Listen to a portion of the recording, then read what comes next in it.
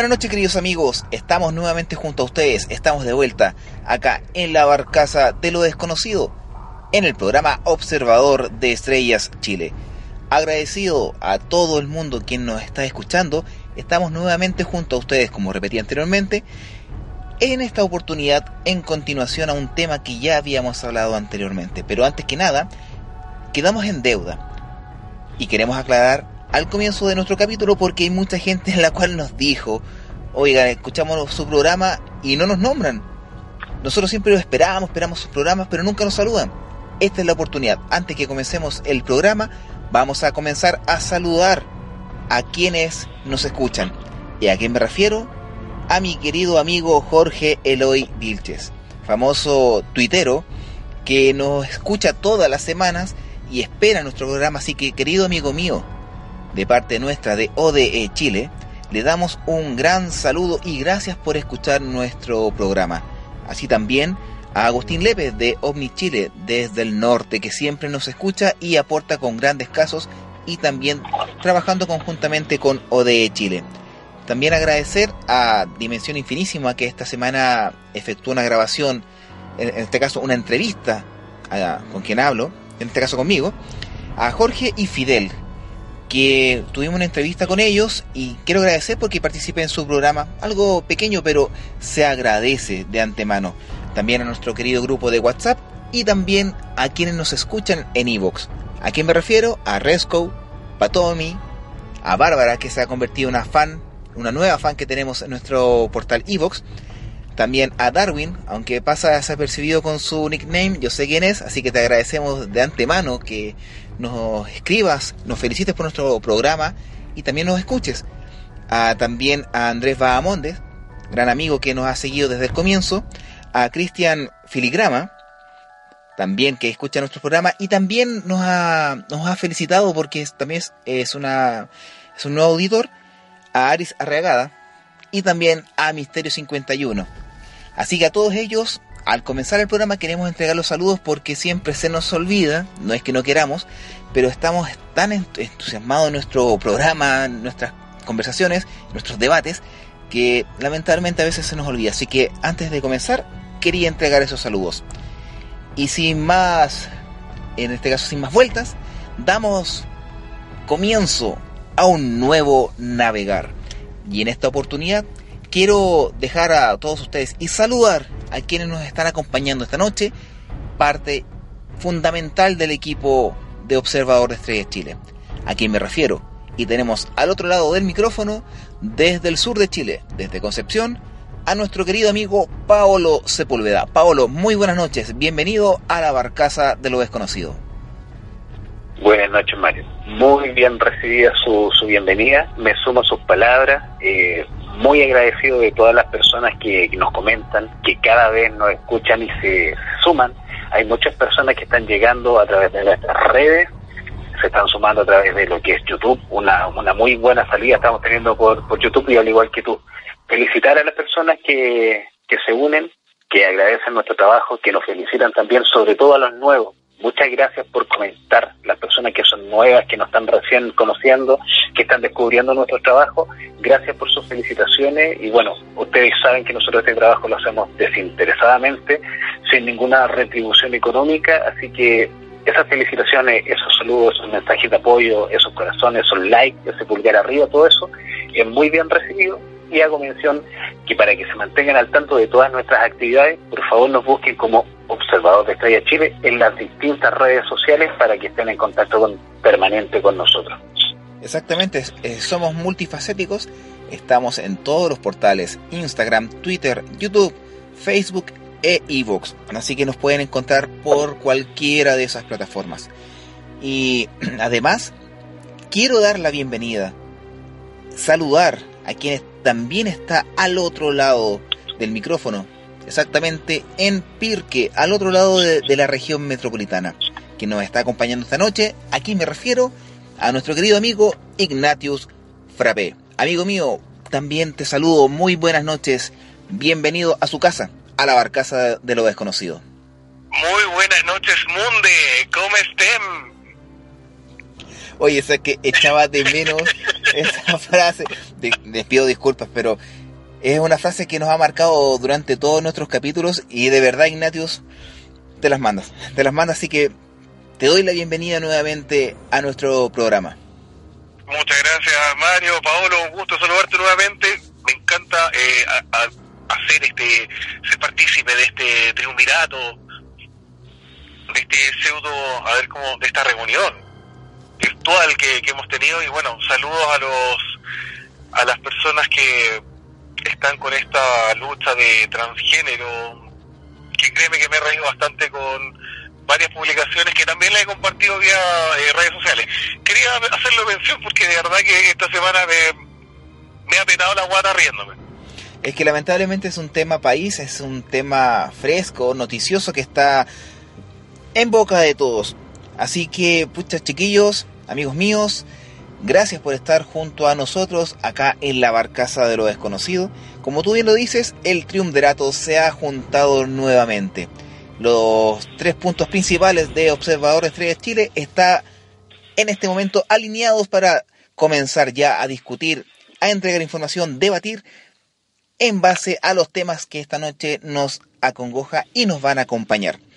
Oye, particularmente eh, quiero mandar un saludo bastante afectuoso a Guayito, que veo que lee las publicaciones, pero no las comenta, pero sé que está por ahí, sé que aún existe. Así que Guayito, un abrazo desde el sur de la región metropolitana, desde un búnker eh, algo oxidado.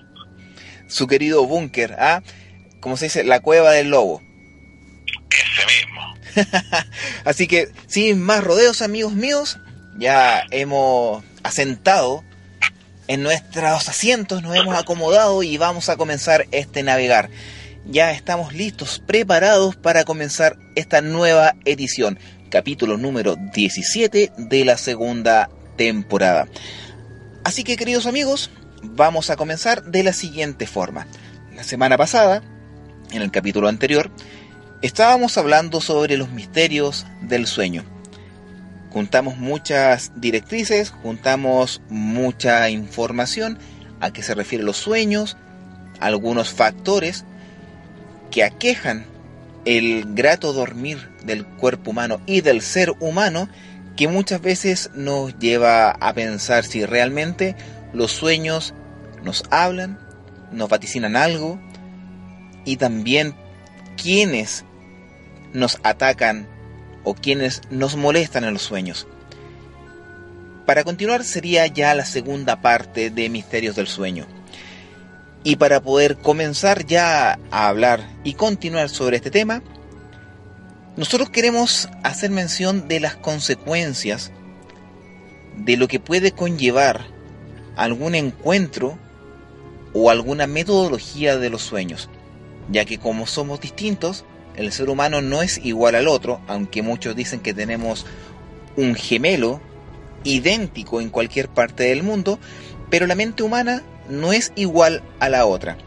Muchos científicos, investigadores, escritores, pintores y en otras ramas de la ciencia, el estudio, o en este caso se puede decir pasatiempo, han recibido iluminación a través de los sueños algunas veces desagradables, otras veces muy beneficiosas. Lo que nosotros hablábamos en la semana, eh, cuando efectuamos la reunión de pauta de este programa, hablábamos sobre aquellas consecuencias que conllevó a ser famosos algunas personas por solamente recibir mensajes de los sueños. Tenemos un ejemplo, personas que reciben iluminación y se hacen famosos por igualar fotografías o hacer fotografías en base a los sueños que ha tenido personas que han recibido iluminación en el ámbito artístico, a que me refiero en la pintura, y eso es aquí en Chile, yo creo que en el mundo hay muchos más ejemplos, y también sobre aquel personaje famoso del folclore chileno que es Pancho del Sur, que había escrito un libro, Ignatius lo había hecho mención y Paolo también. Pero también tenemos que hablar sobre las consecuencias que conlleva muchas veces tener algunas metodologías de sueño, como por ejemplo las regresiones, que está dentro de la hipnosis, y más que nada para poder hacer mención que es una hipnosis, como todos lo saben, no es una metodología de sueño, aunque sí se relaciona, pero es un estado de inconsciencia semejante al sueño, que se logra por sugestión y que se caracteriza por la sumisión de la voluntad de la persona a las órdenes de quien la ha provocado.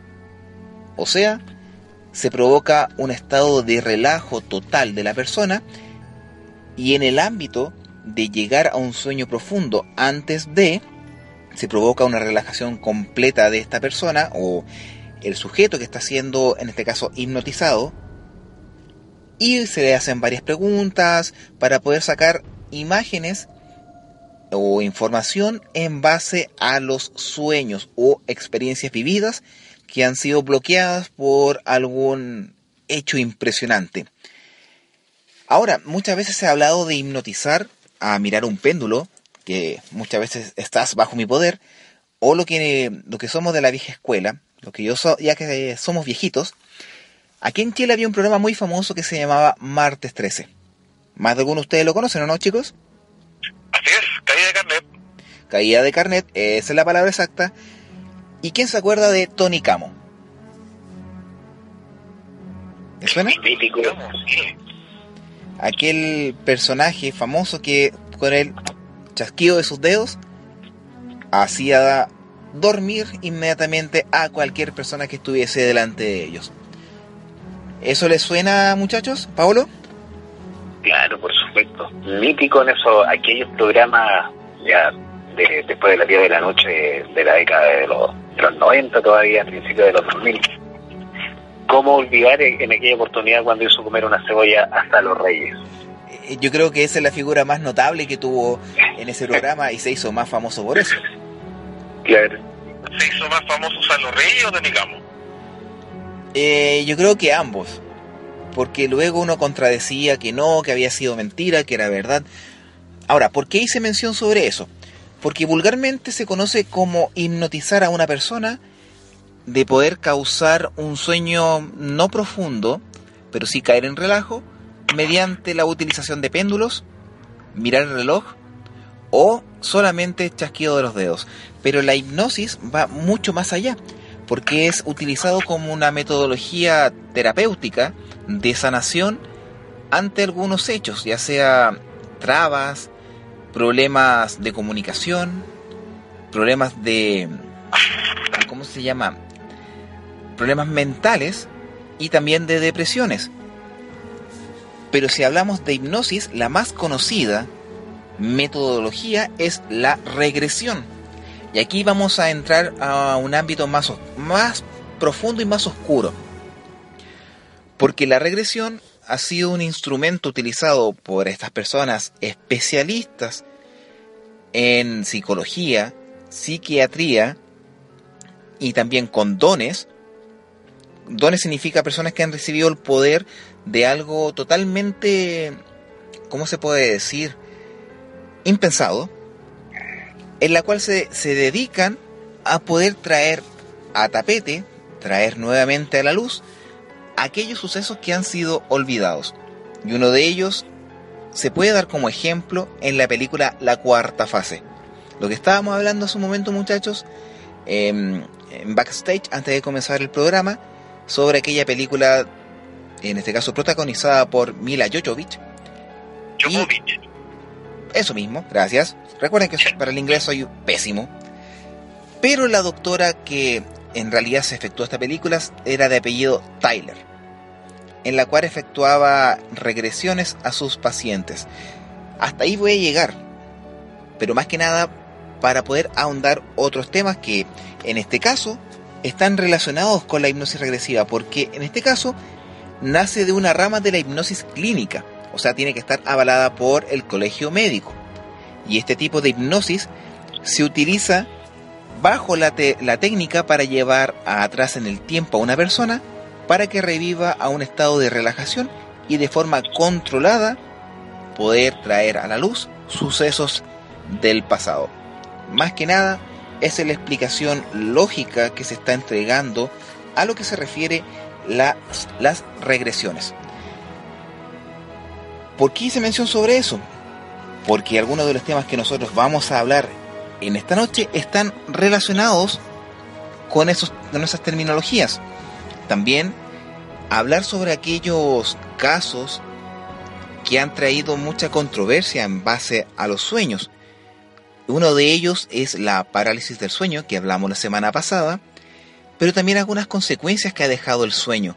¿A qué me refiero con eso? Aquellas entidades que misteriosamente han visitado las habitaciones. ¿A qué me refiero con eso? A, a los visitantes de dormitorio o visitantes nocturnos. ¿Tú conoces algo sobre eso, Paolo?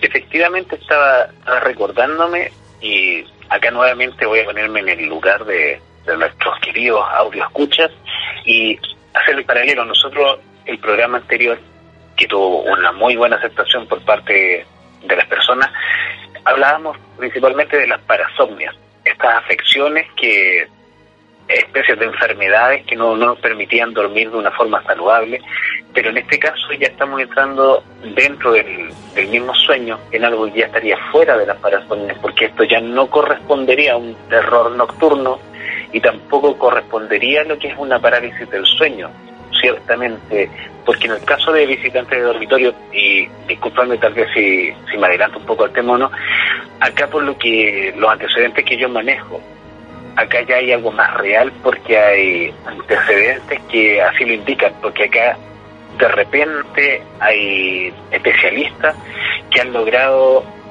¿cómo decirlo?, mediante cirugía, hacer la extirpación de algunos objetos, especies de, no sabría si simple de material orgánico, especies de microchip o especies tecnológicas biomecánicas que han sido insertadas en el cuerpo de personas. Hay especialistas que se, han dedicado su vida entera a la recolección de este tipo de, objetos que algunas personas señalan que el material del que están construidos no correspondería a los materiales encontrados acá en la Tierra, a los elementos propiamente tales. Además, como te decía, en algunas oportunidades pequeñas incisiones, cirugías, pero también yo he visto, y más allá de películas de ciencia ficción, que también hay mujeres producto de lo que tú indicas, de estas regresiones que son verdaderas terapias medicinales, porque esto no, no es superchería, esto no, esto corresponde a ámbitos de campo científico de estudio de la medicina para hacer este tipo de, regresión, en donde también comentarían, narrarían acerca de inseminaciones artificiales, eh, colocación de algunos embriones y también después el retiro de estos de estos embriones, por así decirlo. ¿A eso es a lo que te refieres? Exactamente. Y también Ignatius conoce bastante el tema de lo que es visitantes de dormitorios. Y también aquí a Congoja. ¿O no, Ignatius? Eh, lamentable y efectivamente sí. Tengo eh, algunos... Eh, bueno, viví una experiencia, bueno, vivimos dos experiencias con mi señora referente a, esto, a estos visitantes de dormitorio. Uno efectivamente, claro, tiene que ver con la parálisis del sueño, ¿cierto? Y los otros fueron eh, entidades eh, lamentablemente verídicas. Verídicas en el sentido de... ¿Les puedo comentar la, lo, que nos sucedió? Sí, por supuesto. Y también aclarar que este caso está en proceso de investigación para que ustedes puedan sacar a, puedan sacar la, la cuenta de la magnitud que tuvo este caso en base a tu persona, porque uno puede decir, ah, sí, yo también he tenido parálisis del sueño, mm, sí, también he visto sombras, pero muchas veces, y me quiero anticipar un poco lo que tú quieras contar porque yo conozco muy bien tu caso, más que nada por eso compartimos este tipo de afición porque a todos nos ha pasado algo, pero aclarar que muchas veces los relatos, cuando es de una sola persona, se tiende a dudar. Y eso no lo digo yo, sino que lo dicen los estudios eh, encargado de estos temas. Pero cuando son dos personas distintas en dos lugares, en un mismo lugar, pero en horario distinto, ya cambia la cosa. Así que por favor, Ignacio, ¿nos podrías contar y, y también decir a qué te refieres con lo que hacías mención anteriormente? Mira, eh, estamos hablando de agosto, perdón, eh, julio, junio, julio 2015. Eh, mi señora, bueno, siempre ha tenido eh, parálisis del sueño, siempre ha tenido estos trastornos. Eh, por defecto siempre me quedo dormido después que ella. Un día particular, un día X, ella me despertó eh, asustado. O sea, ella me, ella me despertó asustada. Le pregunto nuevamente qué sucede, porque las parálisis del sueño es típico que tú ves a una, a una especie de cara, ¿cierto? la, ves muy cerca de, tu rostro y eso como que te empieza a asustar y, y empiezas con, bueno, lo típico de las parálisis. O si no ves a una persona a los pies de tu cama, una sombra, es lo típico. Eh, ella me contó particularmente que vio una luz en la ventana de nuestro dormitorio. Esa, eh, bueno, esa tenía unas cortinas, esas cortinas empezaron a moverse. Abajo de la ventana empezó a meterse un gas que bajó por la pared, llegó al suelo y este gas después llegó casi a, bueno, llegó al lado de ella, por el lado de la cama. Ya, imaginemos, lo estoy tratando de eh, describir para que la gente se lo pueda eh, imaginar. Este gas era un gas eh, blanco, algo espeso. Después llega al lado de, ellas, casi como al como al, al, tórax, más o menos a esa altura de la cama. Ese gas empieza a subir a una altura de metro veinte, metro cincuenta, y se empieza a, a volverse sólido. De, ese, de esa parte sólida aparecen dos figuras. De esas dos figuras me los describe como unos típicos grises, manos, eh, brazos algo alargados, eh, ojos que no tienen párpados, eh, son completamente negros, y la empiezan a revisar de una forma eh, sin tacto. solamente la empiezan a ver. Se tratan de acercar un poco con las manos, pero no la, no, no la logran tocar. Dentro de eso, eh, bueno, en esa época ella estaba embarazada. ¿Ya? Eso fue lo que ella eh, ve. Y según ella despierta, y cuando ella despierta, eh, estos eh, seres vuelven nuevamente a volverse un gas, se retiran rápidamente por eh, la ventana, este gas sube, ¿cierto?, por la pared otra vez, se va hacia la ventana y después se apaga la luz. Ahí, según ella, cuando me despertó. Ahora, yo cuando desperté, obviamente no vi nada, no sentí ningún aroma, por defecto también me había asustado, pero tampoco tomé la hora. Eh, respecto de eso, el, mi señora estaba embarazada de tres, a ver, dos meses y medio, tres meses. Una pérdida, un, un aborto, aborto, no recuerdo el nombre, te lo había mencionado en unos activos que te, que te había enviado. Fue una experiencia. ¿Me escuchan? Sí, por supuesto. Ah, ya. Pensé que estaba hablando solo. No, dale. Estamos, estamos atentos a tu relato. ¿Me escuchas bien, eh, Paolo? Sí, te escucho. Sí, te escucho bien. Ya. Eh, después de eso, la otra experiencia que yo particularmente la tengo, un día X, dentro de ese mismo proceso, o sea, dentro de ese mismo año, 2015, nuevamente una luz en la ventana de mi dormitorio, eh, las, las cortinas empiezan a, a mover de forma paulatina, sale la luz, nuevamente eh, veo cuatro entidades a los pies de mi cama. Hasta ahí podría ser una parálisis del sueño, ¿cierto? O una alucinación. O una, claro, una alucinación, alguna pesadilla, etcétera.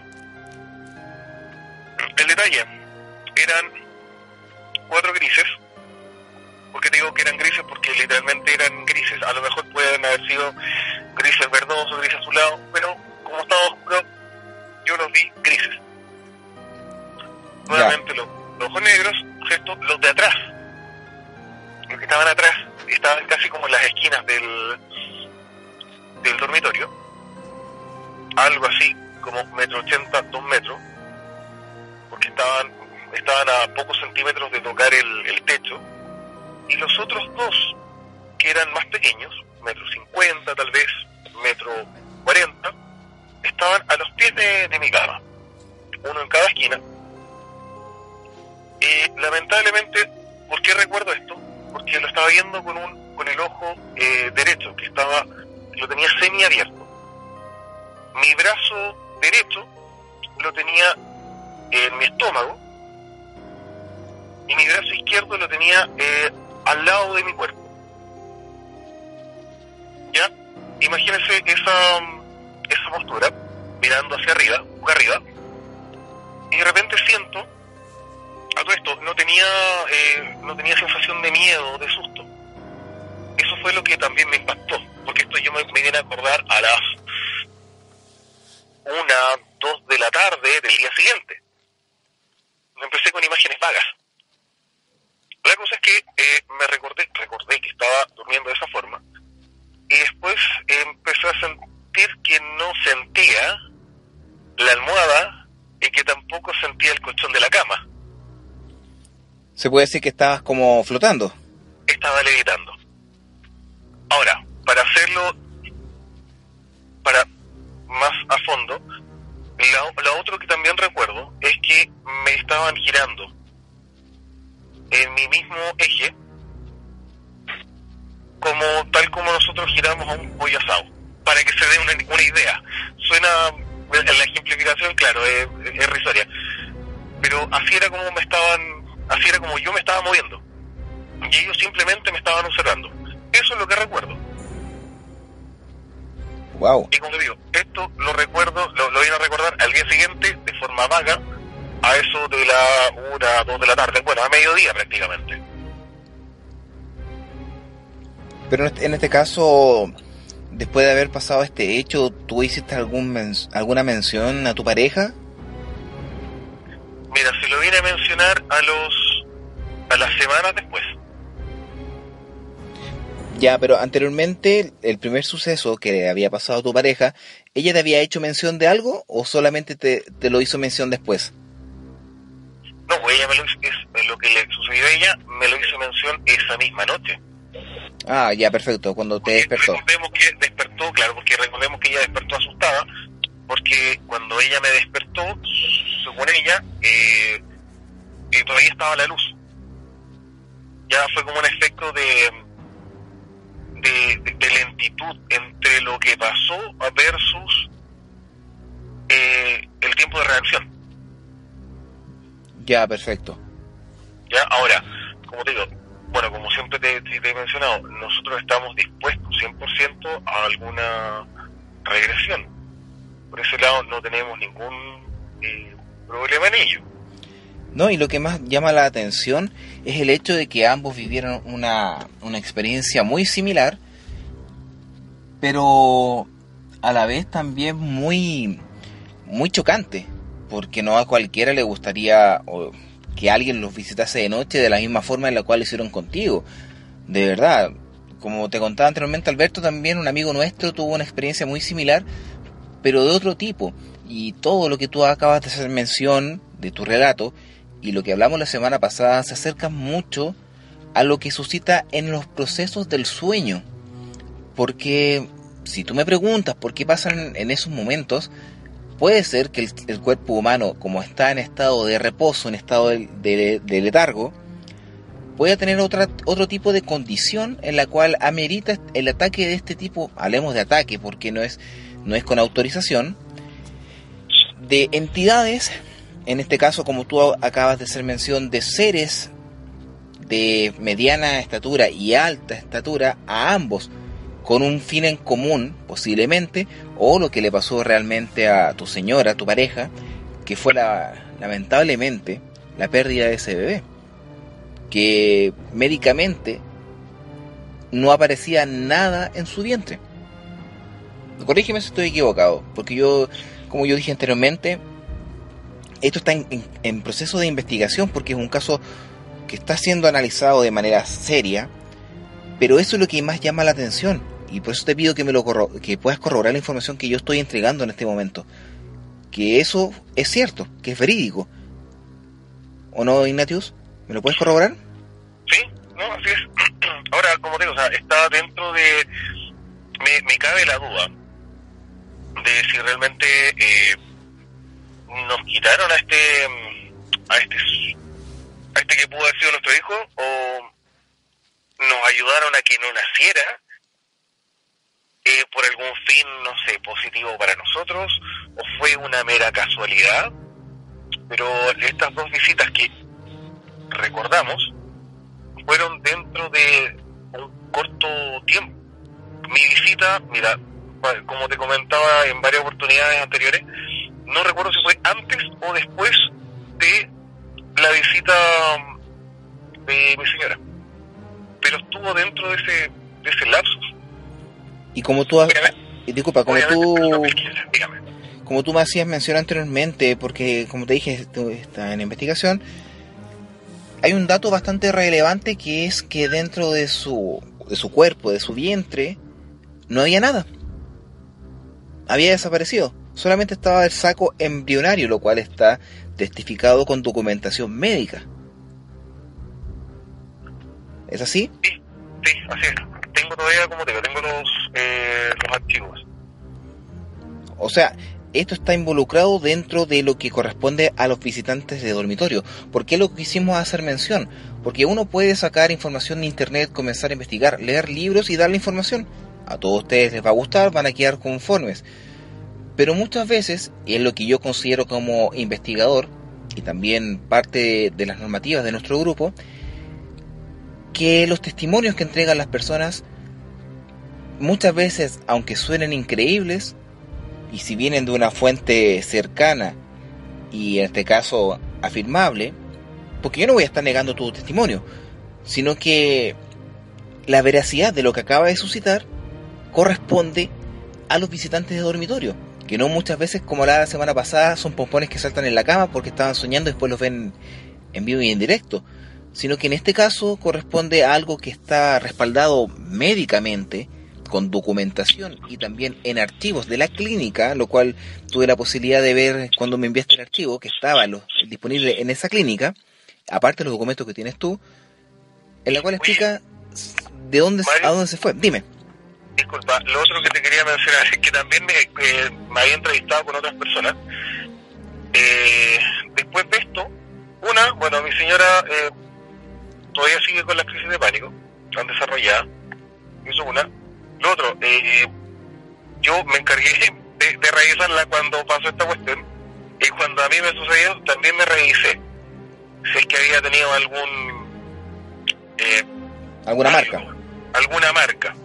Ya no tengo, bueno, en ese momento no tuve nada. Que yo me haya dado cuenta, por lo menos. Ya, tampoco eh, desarrollé otras eh, patologías como es lo típico como es el caso que pasó anteriormente de, desarrollar, eh, no sé, un libro, como es el caso del, libro de Ratson, que así se llama, o eh, desarrollar eh, artes, o, desarrollar pasión por las artes, dibujar, pintar, etcétera. No, no he tenido esas, esas atribuciones, o no las tuve. Mi vida, particularmente, eh, críticamente sí, cambiaron, pero cambiaron porque eh, estaba estudiando, tenía otras variantes laborales. Mi perspectiva de mundo por defecto sí cambió. Por si acaso, lo dejo ahí porque como te digo, eh, lo había, mm, me habían hecho estas preguntas unas personas con las que también estuvimos, bueno, con las que también tú estuviste cuando nos enfrentamos acá en Pirque. Exactamente. Ahora, Paolo, tú que estás al otro lado, ¿a qué me refiero? En el ámbito más teórico, ¿tú alguna vez habías escuchado algún caso similar? Solamente por, por televisión y también recurriendo a literatura que, que trata del tema, pero fíjate que eh, estos temas son complicados y son difíciles porque siempre existen las personas que ante la duda o su falta de conocimiento tienden a lo que es desacreditar, aunque acá como siempre hacemos nosotros, podemos tratar de ir por la parte más física o comprobable, porque acá como yo te decía dentro de, lo poco que manejo del tema, y Nacho también hacía mención a eso, que él se revisó, generalmente ante este tipo de, de casos, ante esta fenomenología, existen los implantes, por lo que yo tengo entendido, y tú corrígeme si me equivoco, creo que por lo que he podido ver en televisión, generalmente son como granos de arroz o tal vez un poco más chicos que se implantarían detrás de las orejas, en partes cercanas a la nuca y también en los pies he visto esto. Pero más allá de eso, quería hacer mención, en alguna oportunidad eh, he tenido la oportunidad de, ver a, a Paz, Sixto Paz, este contactado archiconocido. Yo he escuchado hablando en, algunas oportunidades que tiene, tiene casos y documentación en donde aparentemente, según, según palabras de él, sería el ejército el que hace intervenciones adormeciendo a la gente con, con un gas que actúa de la forma que más o menos indicaba Ignatius. Y me me llama la atención eso. Y también el nombre está bastante bien puesto, el nombre de lo que estamos hablando ahora, visitantes de dormitorio. Tú también lo mencionaste, Mario.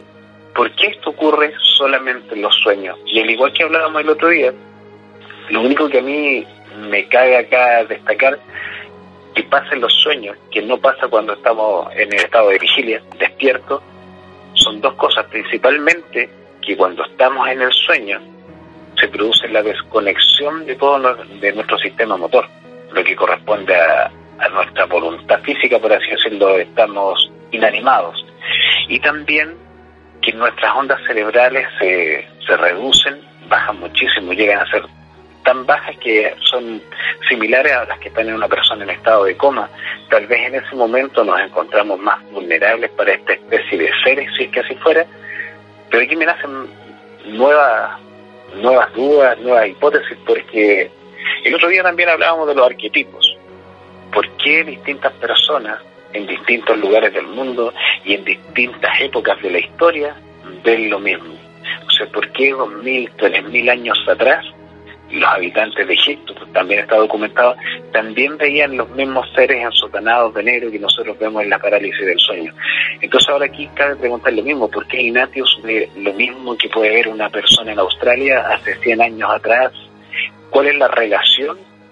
¿De qué forma todo esto se concatena en que las personas ven lo mismo, sufren lo mismo y sienten lo mismo? Porque aquí lamentablemente, más allá de lo llamativo del tema, es una, una situación lamentable la, la pérdida de, esta pequeña vida que se está creando, pero viene también de la mano de lo mismo, porque dentro de la casuística de visitantes de dormitorio está el tema de los implantes, que si bien es cierto, no todas las personas lo tienen, o tal vez no se revisan bien.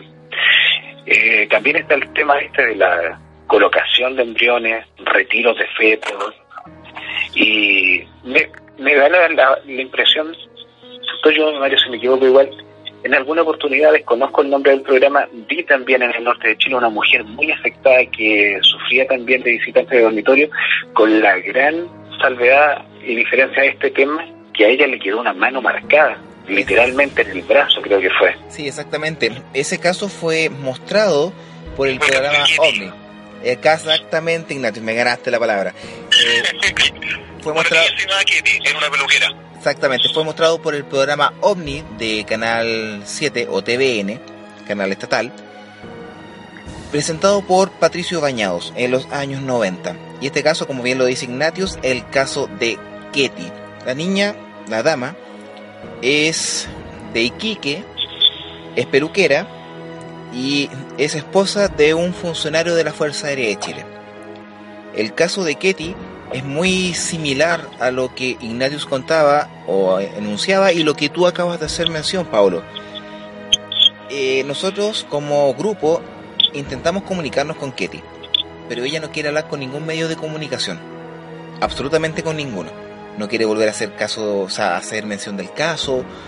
Lo que sí, lo único que se alcanzó a rescatar es lo que se filmó en ese programa, ese programa de investigación. Y claro, eh, ella se encontraba no en estado estado REM, como contábamos el mes, el mes pasado, la semana pasada en el programa anterior, y que fue visitada por un extraño ser que al tocar su abdomen dejó una marca de una mano gigantesca en su abdomen, lado, si es que no me equivoco, lado derecho. Y era una mano, pero una mano desproporcionada al tamaño de un ser humano normal, dedos alargados y una gran irritación. y que esta, esta situación, al sacarse, sacar fotografías, fue, fue utilizada de manera maliciosa porque fue sin autorización por una revista española. No me recuerdo el nombre exacto porque estoy trayendo a tapete este tema de lo que yo recuerdo y lo que yo vi. Y que muchos de sus vecinos sintieron pasos o saltos sobre los techos.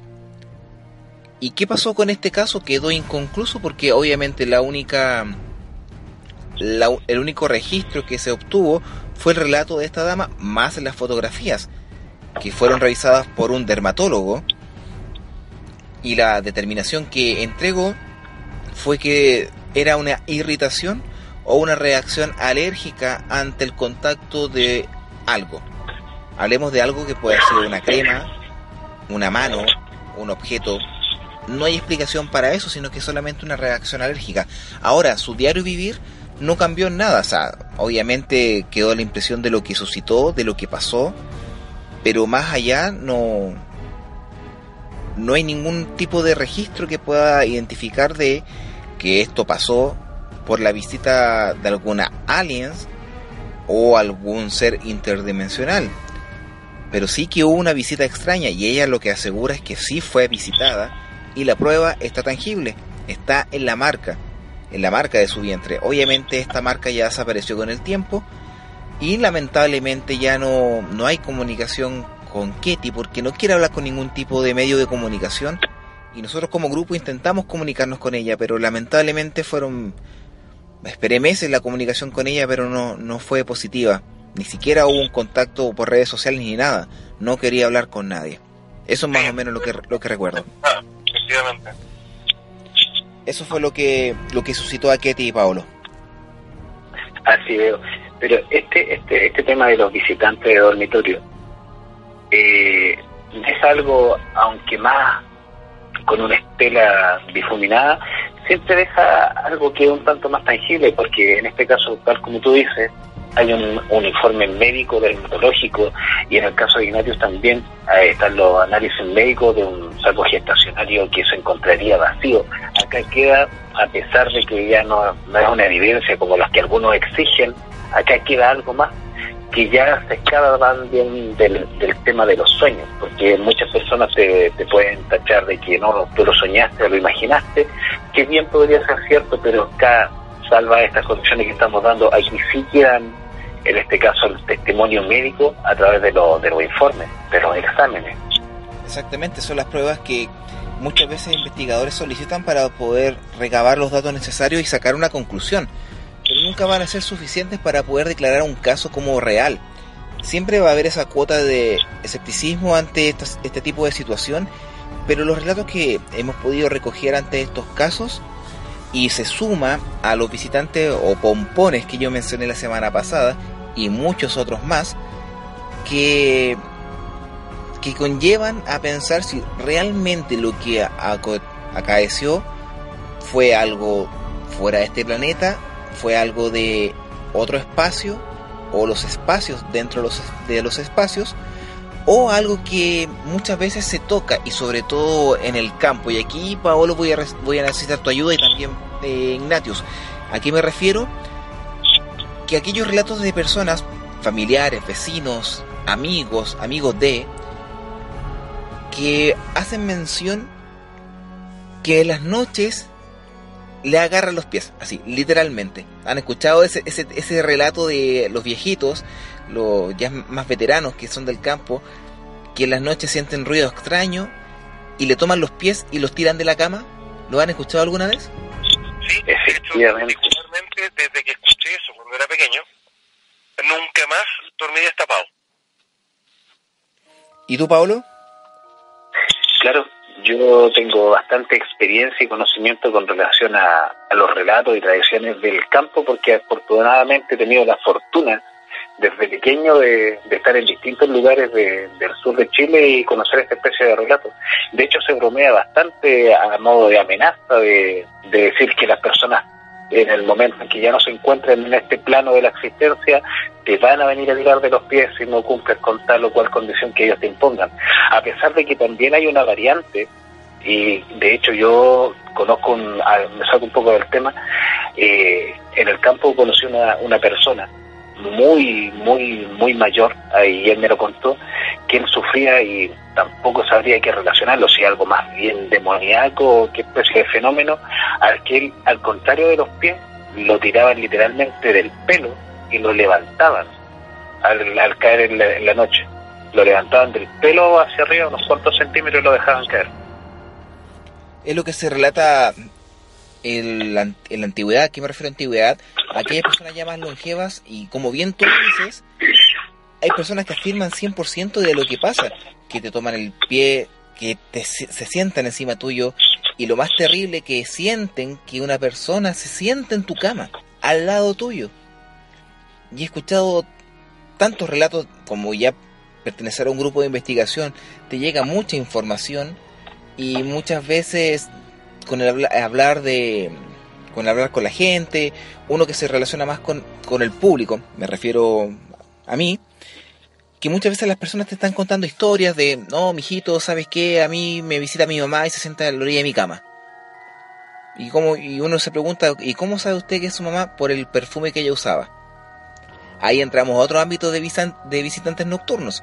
Ahí hablamos, como tú bien hablabas, Paolo, de aquellas personas que ya dejaron este plano y nos visitan, me refiero nos visitan en ámbito general a todos o a los que les sucede, nos comienzan a, a, devolver el saludo de una manera muy siniestra para nosotros, que es o acostándose, sentándose al lado nuestro y también eh, tirando los pies o el pelo.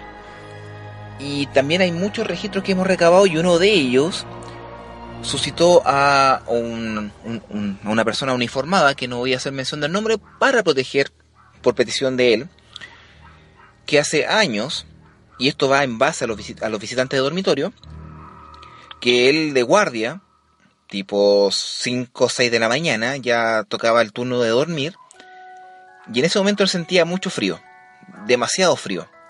Hasta el momento es algo normal. Sentía frío, quería dormir y se durmió con ropa porque dentro de dos horas se tenía que volver a levantar. Pero lo más misterioso de todo esto, que fue cuando conversé con él, me pidió que conversáramos en un lugar privado, que no hubiera más gente. Y lo que él, me hace mención es que al fin de semana, al volver a su casa y, e ir a visitar a su mamá, a su madre, ella le hace mención que un día X, un ejemplo, el día 15 de octubre, el mismo día que él había tenido guardia, que a las 6 de la mañana, sintió que alguien se acostó en su cama, en su, eh, hagamos mención que estaba durmiendo de lado, dándole la espalda, y la abrazó. Y sentía mucho frío y tiritaba. Y lo que él le llamaba la atención, y él me comentó, que era exactamente a la misma hora que él se había acostado, tenía frío y tiritaba. Ahí tenemos otro tipo de, visitantes, en este caso ya extraños, o muchas veces se puede caracterizar por trans, eh, se puede decir transmisión de sentimientos o transmisión de sensaciones a larga distancia con personas cercanas. Y este caso es verídico. Yo no lo puedo desconfiar de quién lo, de quién hizo mención sobre esto. No le puedo, no lo puedo desacreditar. Es una persona uniformada y persona de grado alto de un alto grado militar, y no voy a decir qué institución, pero él hace mención que, y me jura, que, que su mamá sintió el frío que él sentía a la misma hora, y estamos hablando de una distancia de 50 kilómetros.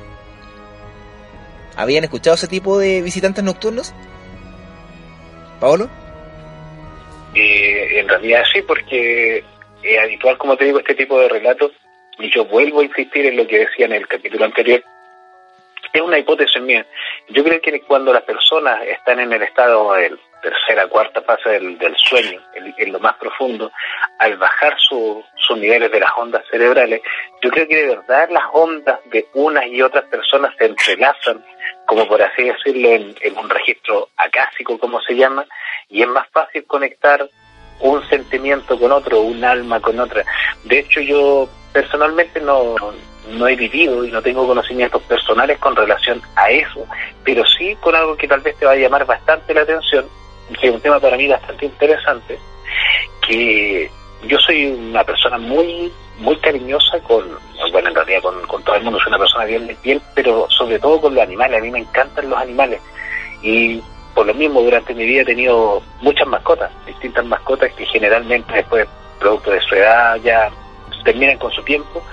Y hace un tiempo atrás tenía un, gato, un gatito que lo crié desde pequeño, lo rescaté en la calle. De hecho, tuve que, que darle leche con una jeringa y todo eso porque era demasiado chiquitito y después murió de viejo.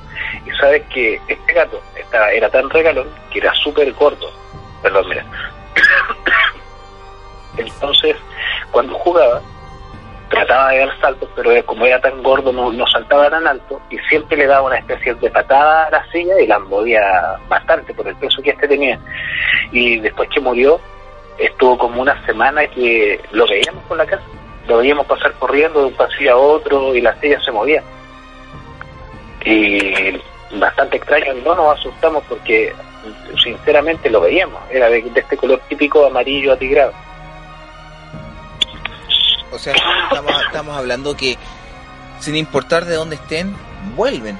Y eso se caracteriza a muchas veces a la transferencia de energía y que solamente se afirma la, teoría de que el ser humano, el reino animal, o entidad que pertenezca a este mundo al momento de dejarlo, como tú a la mención, solamente se transforma, no se pierde. Y él se debe quedar convertido en energía. Así yo lo estoy viendo. Ese, ese es un tema complejo también porque hay muchas personas que de repente debaten si es que los animales, considerándolos inferiores, algunas personas los consideran inferiores, yo de hecho los considero parte de mi familia, lo, con el mismo cariño y de hecho más porque los protejo más, porque son más vulnerables. Algunas personas debaten en si tienen o no tienen alma. Yo no, no me gustaría pronunciarme más allá del tema, pero ante este tipo de hechos mm, hay que pensar, porque, por ejemplo, si no la tuviesen, no deberían estar en un plano etéreo. Y también a través de documentos y libros, sé que hay muchas personas que también han tenido este tipo de, experiencias extrasensoriales, así decirlo, pero en este caso con animales. Exactamente.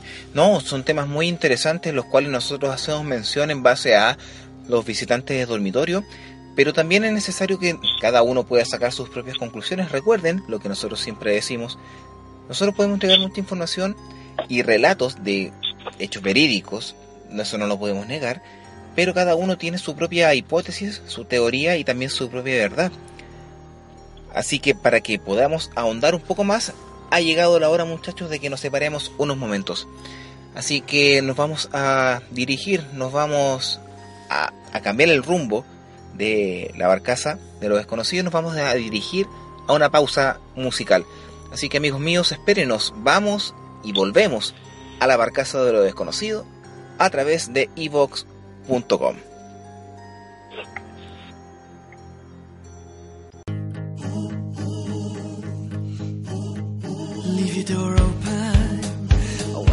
Over.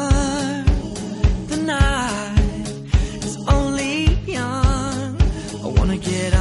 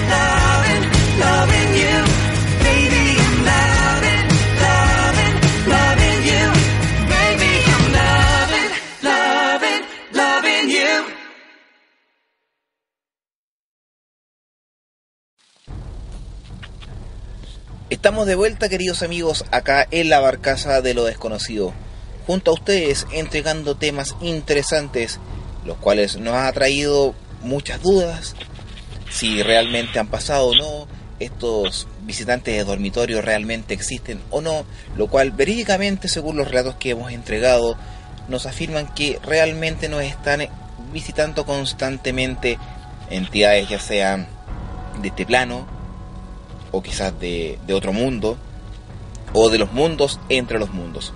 Así que para continuar a través de evox.com, continuamos acá en el programa Observador de Estrellas Chile. Y en este segundo bloque, el cual nosotros ya vamos a comenzar a interiorizar un tema relacionado también al sueño, pero que muchas veces ustedes también lo han entendido, lo han comentado y lo han visto. ¿A qué me refiero con eso? Aquellas películas o hechos que realmente suscitaron y están directamente relacionados al ámbito del sueño. Y uno de ellos es un caso interesantísimo, muy pero muy hablado y también ha causado mucho temor en los años 80 y 90 en base a un ser, a una entidad que ataca los sueños. Ignatius, ¿nos podrías hacer un refresh y también comenzar a comentar a qué nos referimos con eso? Específicamente vamos a hablar del gran, gran Freddy Krueger. Frederick Krueger. Les voy a mencionar... Sí, te escucho. Muy conocido por su autobús y aquella misteriosa canción que causó temor a todos los que pudimos escucharlos. Mira, técnicamente sigue causando temor. Este es uno de los personajes que eh, es un ícono. No sé si sea como Cristóbal Colón, pero todas las generaciones, desde el 84 en adelante, lo conocen. Cuéntanos un poquito más de Freddy. Mira, te voy a comentar dos historias. ¿ya? Una tiene que ver con un tal Frederick Krueger que falleció en 1810. ¿ya? Hay una lápida con el nombre de Frederick Krueger que nació en X año, que no lo recuerdo, y eh, fallece en 1810, ¿cierto? Eh, que mencionaban una historia en la cual era un tipo que eh, acosaba de noche, eh, violaba y asesinaba eh, niños, niñas, ado- a- a- asesinaba adolescentes y tenía por defecto un guante con, con uñas muy largas. Este tipo fue sentenciado y posterior a ello no alcanzó a, cumplir su sentencia de muerte y murió antes de forma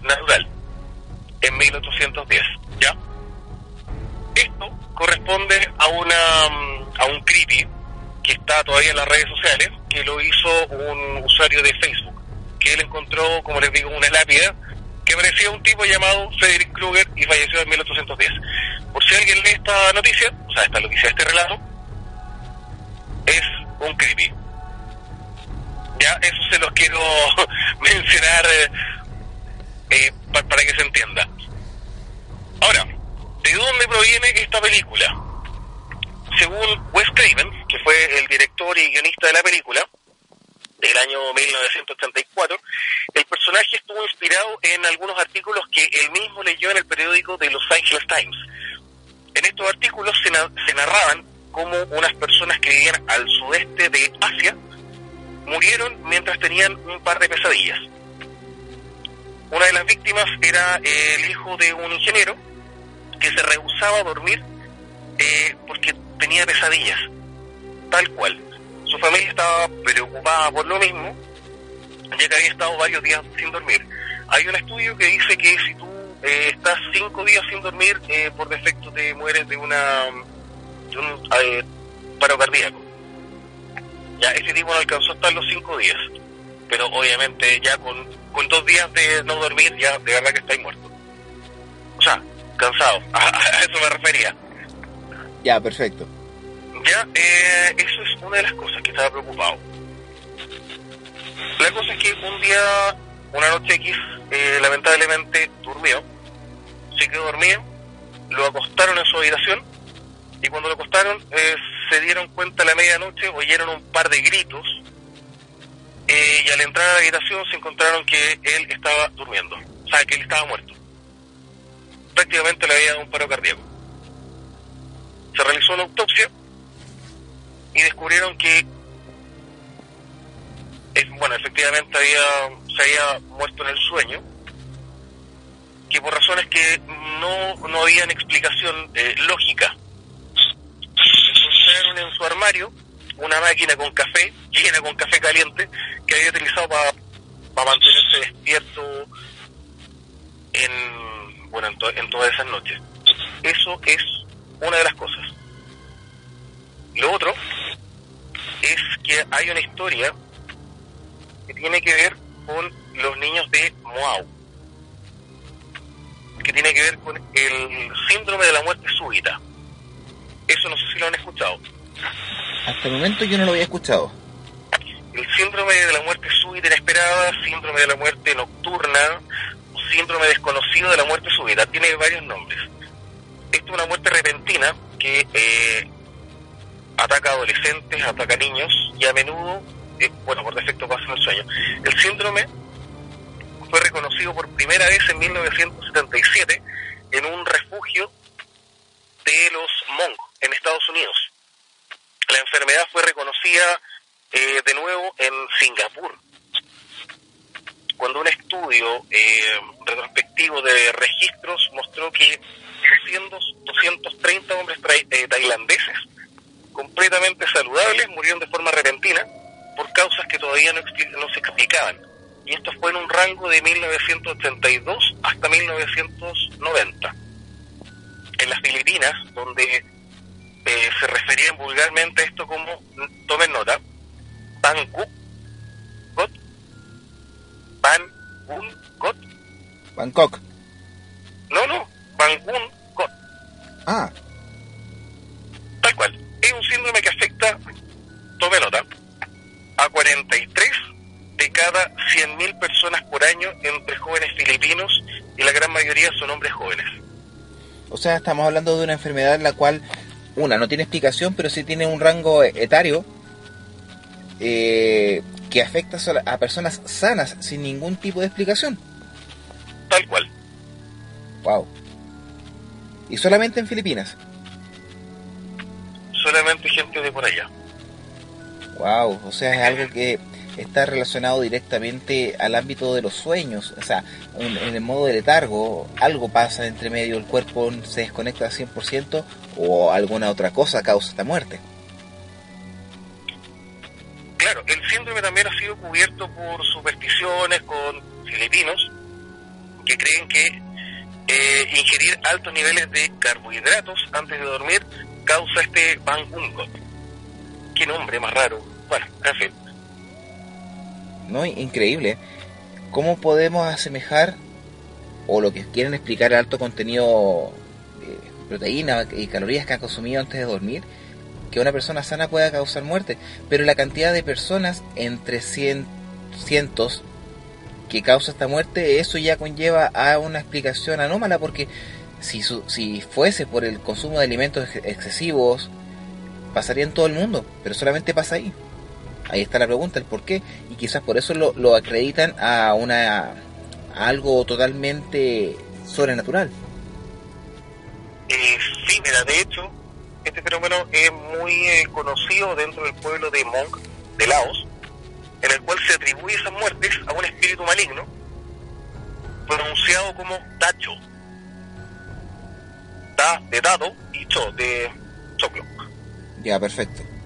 ¿ya? ¿ya? el cual se dice que toma la forma de una mujer celosa que ataca en los sueños a los hombres.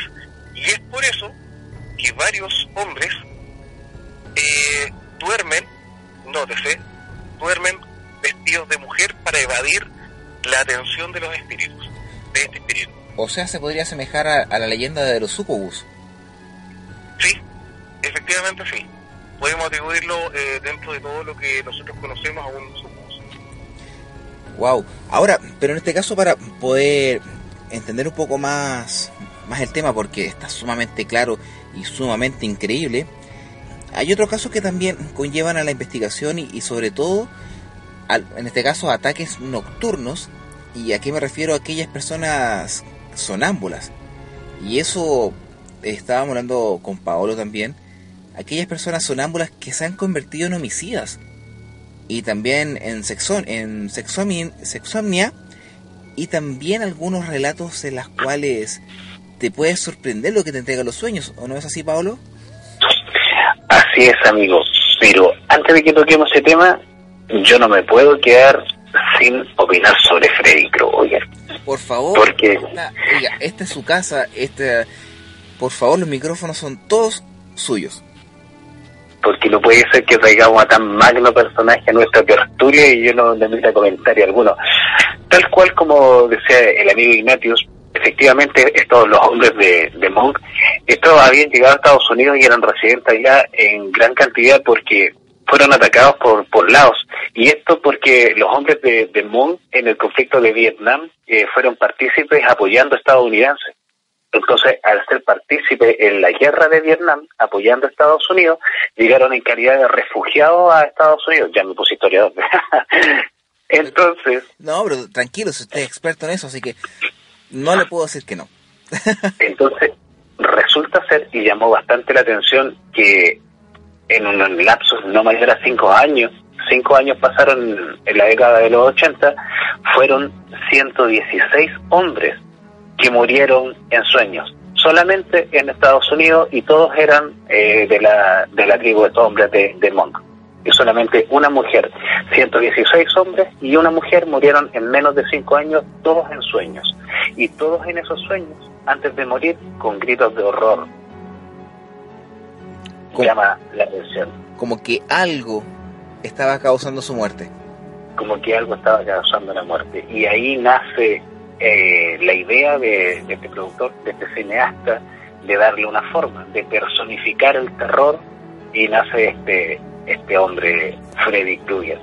No podía dejar de hacer mención porque llama la atención, son 116 personas que pertenecen a una etnia específica, los Hmong, y todos mueren en sueños. Y las autopsias no revelan nada. No, como decía Ignatius, hay bastante teoría, el consumo de carbohidratos, algunos ventrículos del corazón que no funcionan bien, pero en este caso las autopsias no arrojaban nada. Absolutamente nada.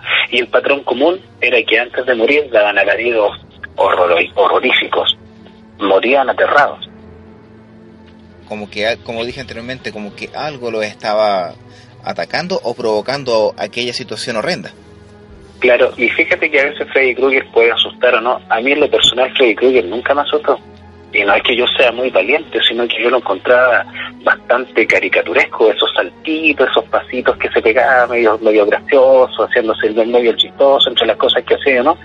Pero aquí a mí me da más miedo la historia real detrás de esto, porque Freddy lo podemos entender que es un personaje de ficción y una película que está hecha para asustarnos, pero me da mucho más susto que 116 personas mueran en 5 años eh, durmiendo. O sea, yo también tendría miedo de irme a dormir. ¿Te das cuenta? Y en este caso cabe mencionar también una patología médica. Hay una enfermedad que, que sí existe y que es el insomnio familiar fatal o el trastorno familiar del sueño, que lamentablemente es una, es una enfermedad que es hereditaria y existe. ¿Y de qué se trata? Que las personas no pueden conciliar el sueño, pero a un nivel extremo. Y ahí también viene algo que no sé si estará catalogado entre las parasomnias, que son los microsueños, que de repente no sé si te has pensado que estás tan cansado que pegas como una pestañada, que deben ser segundos, y es tan profundo esos segundos que descansas que incluso llega hasta enseñar.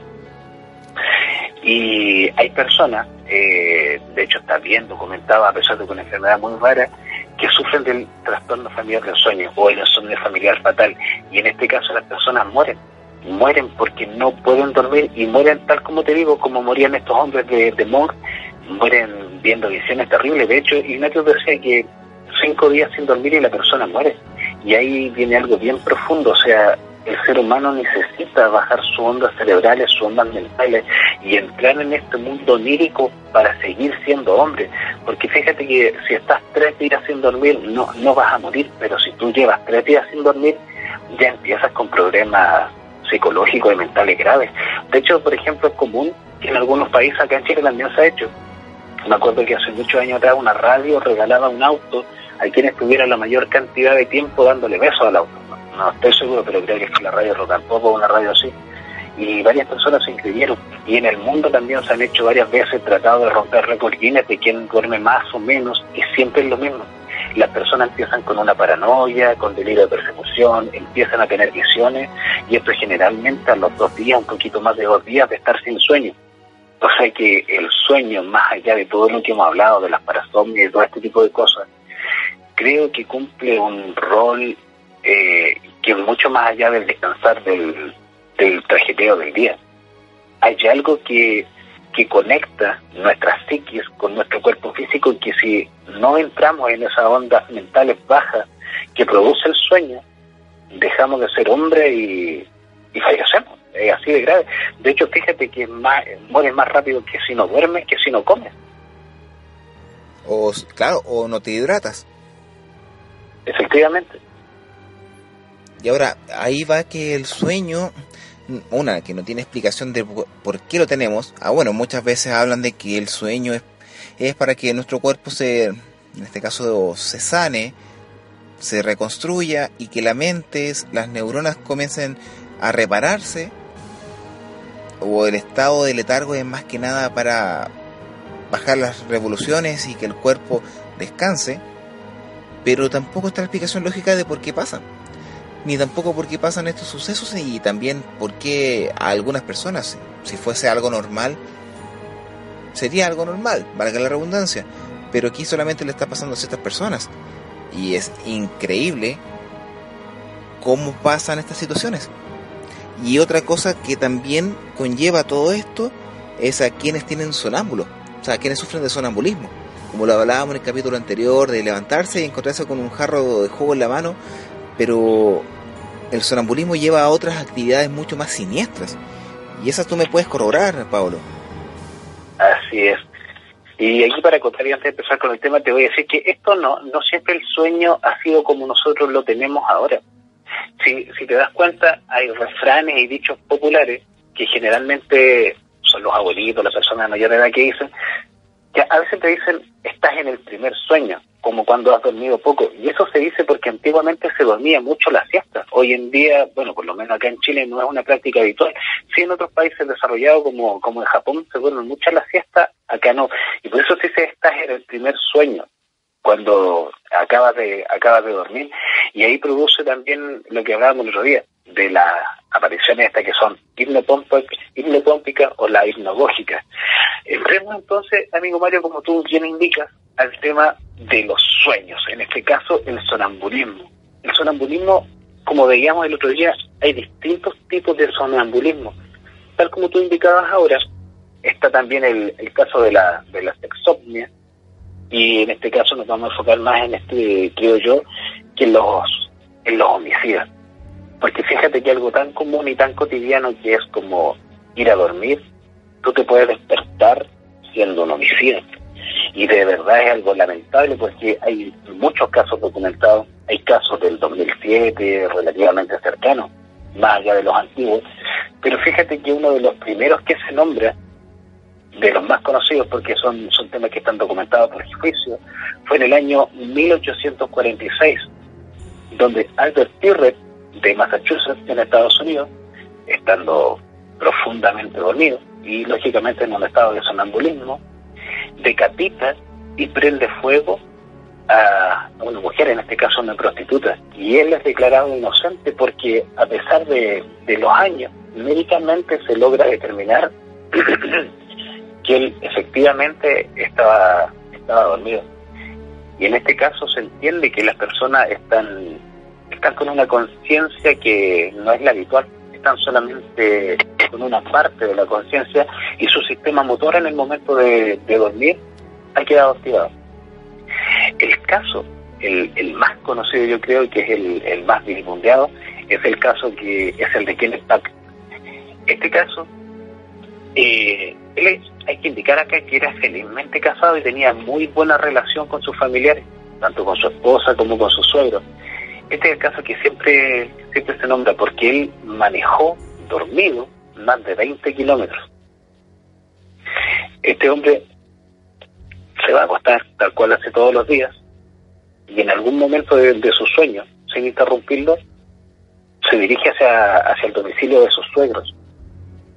En ese momento su suegra le abre la puerta y advierte que él está, que no, no está en vigilia, advierte que él está en un estado que no es el, habitual. ¿Y eso por qué? Porque, pues, me voy a un poco la historia, él ataca a su suegra con una barra de hierro y le da muerte. Efectivamente, en ese momento, producto del sueño, se transforma en un homicida. Inmediatamente después de eso, él va a la habitación donde está su suegro, se abalanza sobre él y lo estrangula. Pero el suegro muere, él en su estado de sonambulismo piensa que le da muerte y de hecho casi lo logra. Y es el mismo suegro que después en declaraciones en el, ante el juzgado en el juicio, él indica que, el- que la persona no estaba en sus cabales, indica que incluso estaba con los ojos cerrados.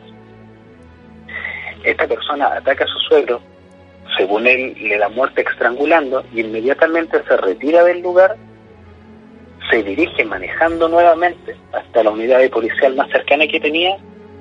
El policía que lo recibe redacta en el documento que la persona llega durmiendo, llega con los ojos cerrados y la coherencia en el hablar no tampoco es lógica. Aún así, él indica al policía que tiene la sensación de que ha cometido un homicidio, de que ha matado a alguien, pero no sabe a quién, ni cuándo, ni dónde. Y el policía es el que lo despierta. Él indica que la, la persona al momento de despertar no tenía conciencia alguna de lo que había hecho. De hecho, el vehículo estaba afuera con el motor encendido. Y también este caso, que es más conocido como yo te digo, el de Kenneth Parks, él fue, fue a juicio. El juicio fue muy mediático. Hay muchos videos en, en internet con relación al tema. De hecho, se hizo una película y él es declarado inocente. O sea, veamos la, Sí. la- la- veamos la magnitud de lo que este, este estado de sonambulismo provoca. Y esa es la gran pregunta, con los ojos cerrados. Es increíble. Así es. Es increíble porque ahí va el, el poder de la mente, porque imagínate conducir con los ojos cerrados 20 kilómetros. Y también ser después considerado inocente. Claro, y para, mira, para que te declaren inocente, lógicamente tienes que pasar por una serie, una serie de pericias médicas. En este caso se le hacen encelografía, se le ponen electrodos, se somete a hipnosis, a sueños, se mide su nivel de onda para declararlo inocente, porque en este caso hay víctimas. Claro, ha cometido asesinato. Y la metodología en la cual lo utilizó y ahora el por qué lo hizo y por qué el poder de la mente provoca este sentimiento de, no sé si será de odio, rabia, descargo de energía, no sé. La- realmente lo que haces mención no tiene, no tiene lógica, pero es increíble que el sonambulismo muchas veces se puede caracterizar por violencia y por asesinato, crimen. es súper complejo de analizar porque se puede hacer desde distintos puntos de vista. Mira, si lo analizas desde un punto de vista médico, la persona no estaba consciente de lo que hizo. Pero si lo analizas desde un punto de vista sociológico, imagínate qué piensa su pareja, porque eran una familia que eran, eran felices, no tenían problemas y tenían buenas relaciones entre todos. El hombre es declarado inocente, pero ¿qué pasó con esa familia? Se porque destruyó. tenía su esposa, claro. Él mató a los padres de su esposa. Bueno, la madre en este caso, el padre sobrevivió. O sea, esa familia se destruye. ¿Qué pasa después con su hijo? ¿Cómo ven si él asesinó a su abuela? Y por nada, porque no había un móvil, no había un motivo. Algo inexplicable. To- Totalmente inexplicable. Por eso digo, se puede analizar de distintos tipos, desde distintos puntos de vista y eh, es un tema bastante complejo porque lógicamente cualquiera podría, bueno, no cualquiera, hay que ser un poco perturbado, pero asesinar a una persona y después decir, no, si yo estaba sonámbulo. Por eso digo, en este caso hay que es una serie de pericias que indican que, que así es. Increíble. Increíble lo que tú acabas de hacer mención, porque no hay no hay motivos, como tú bien dices. Sin Mira, te voy, a, te voy a comentar un, un hecho, porque en este caso la persona actuó también en un estado de, de ensoñación, no estaba lúcido. Esto ocurrió en España, en febrero del 2007. El hombre solamente fue, fue identificado como Antonio, porque esto también fue muy mediático. El hombre estaba soñando. Él no estaba sonámbulo. Él en su declaración dice que estaba soñando y el sueño que él tenía, a pesar de lo absurdo que pueda parecer, es que su cama estaba rodeada de avestruces y las avestruces lo querían atacar. Entonces este hombre se levanta en sus sueños, pero lo hizo en la vida real, o sea, él estaba soñando que estaba en su pieza, que estaba rodeado de avestruces, que las avestruces le querían atacar, se levanta, va corriendo a tomar su hacha para enfrentarse a las avestruces, le da muerte a estas avestruces y en ese momento como que despierta y ve que lo que había hecho es que había matado a su suegra, había dejado seriamente herida a su mujer que murió a producto de las heridas y también a sus hijos. El hombre quedó tan choqueado, tan perturbado cuando despierta de este estado de sonambulismo que tenía, que se arrojó por la ventana en un intento de suicidarse, cayó sobre un vehículo y no murió. Le dieron los primeros auxilios, le hicieron su tratamiento médico, le hicieron la experiencia médica y lograron determinar de que el hombre efectivamente no había tenido ningún móvil, ninguna intención y que estaba en un estado de sonambulismo y también fue absuelto en un juicio muy mediático por lo demás. Al estado que te lleva, o sea, las acciones que te conlleva estar en sonámbulo, imagínate, desenvolverse como un asesino siendo que nunca lo fue y soñar con avestruces, algo totalmente ajeno a su diario vivir y bueno, ya todos conocen ahora el desenlace de este hecho. Y este caso es bien dramático porque fíjate que es un hombre que se va a dormir. Entiende Mario, se va a dormir como tal cual lo hacen todas las personas y despierta y le dio muerte a sus hijos. De hecho, él fue absuelto, no, no tuvo que, que pagar con cárcel los crímenes que cometió, pero él, él no quedó bien y de hecho hasta el día de hoy sigue internado en una, en una, clínica, en una clínica psiquiátrica porque se perturbó, se enajenó, enloqueció producto de lo que había hecho, dio muerte a su hijo, a sus seres queridos por nada, producto de un sueño. No, y, y la manera atroz en la cual lo hizo. O sea, igual es entendible que haya quedado de, en ese estado tan deprimente después de haber cometido este gigantesco homicidio. Bueno, y se entiende, producto del programa anterior veíamos que, lo, que los sueños de repente son... No, es que de repente, los sueños siempre cuando uno está soñando los vive como si fuera la realidad misma. Y por eso opera de la forma en que lo hace los sueños. Si tiene miedo, se defiende. Pero ahí va lo que te decía adelante. Se entiende que cuando uno entra en el, en el sueño, el más profundo, segunda, tercera fase del sueño, el, la mente desconecta el sistema motor del cuerpo por lo mismo, para evitar que se mueva. Fíjate lo que puede llegar a pasar si no se desconecta el sistema motor de, del cuerpo, te llega, te puede llegar a, con, a convertir en, en un homicida, en un asesino. Claro, son muchos los factores que conllevan a convertir a una persona común y corriente que no nunca ha tomado un arma o ha pensado asesinar a alguien y de la noche a la mañana despertar y ver todo lo que causó, todo el daño, la muerte, estar ensangrentado, debe ser un estado pero de shock gigantesco. Y esa es una de las, de las patologías de las cuales conlleva al sonambulismo, que muchas veces uno se pregunta por qué pasa, no tiene explicación el sonambulismo. Según lo que puede decirse médicamente, claro, es el trastorno o la reacción mediática del cerebro humano ante la desconexión y una interacción de parte del cerebro que no utilizamos se apodera de, de, los movimientos del cuerpo y te hace actuar de esa manera. No, no es algo tan fácil de explicar ni tampoco fácil de poder entender, pero pasa. Es algo que no, no sabemos qué pasa, valga la redundancia. Es, extremadamente raro y extraño. Y fíjate que de hecho aquí este tema da para mucho. Lógicamente lo vamos a cerrar hoy porque tenemos muchos otros temas que tratar, sugerencias y todo eso, pero incluso hay temas que ni siquiera hemos mencionado, como los jumpers que se llaman, que son especies de sonámbulos que saltan por las ventanas. Hay Mira. muchas personas que han fallecido producto de eso. Mira, vamos a hacer algo con esto. Como tenemos bastante interac- interacción con nuestros amigos, ya sea en Facebook, en Evox o directamente en YouTube, vamos a dar la posibilidad de que nos den las opiniones si quieren que sigamos con este con este episodio de los sueños, que tenemos mucho tema por tocar, pero también tenemos que seguir con nuestro programa. Así que vamos a dejar la puerta abierta para que puedan sugerir si quieren volver a escuchar, o sea, quieren que nosotros sigamos con el tema de los sueños en el próximo capítulo, para que así nosotros podamos ahondar un poco más, porque hay muchas más parasomnias, otros eh, inconvenientes mentales que muchas veces conlleva los sueños, que son muchas y son muy interesantes, así que vamos a dejar la puerta abierta para que nuestros queridos audio escucha puedan opinar y darnos sus interacciones si quieren que nosotros continuemos el próximo capítulo con este tema, ¿te parece?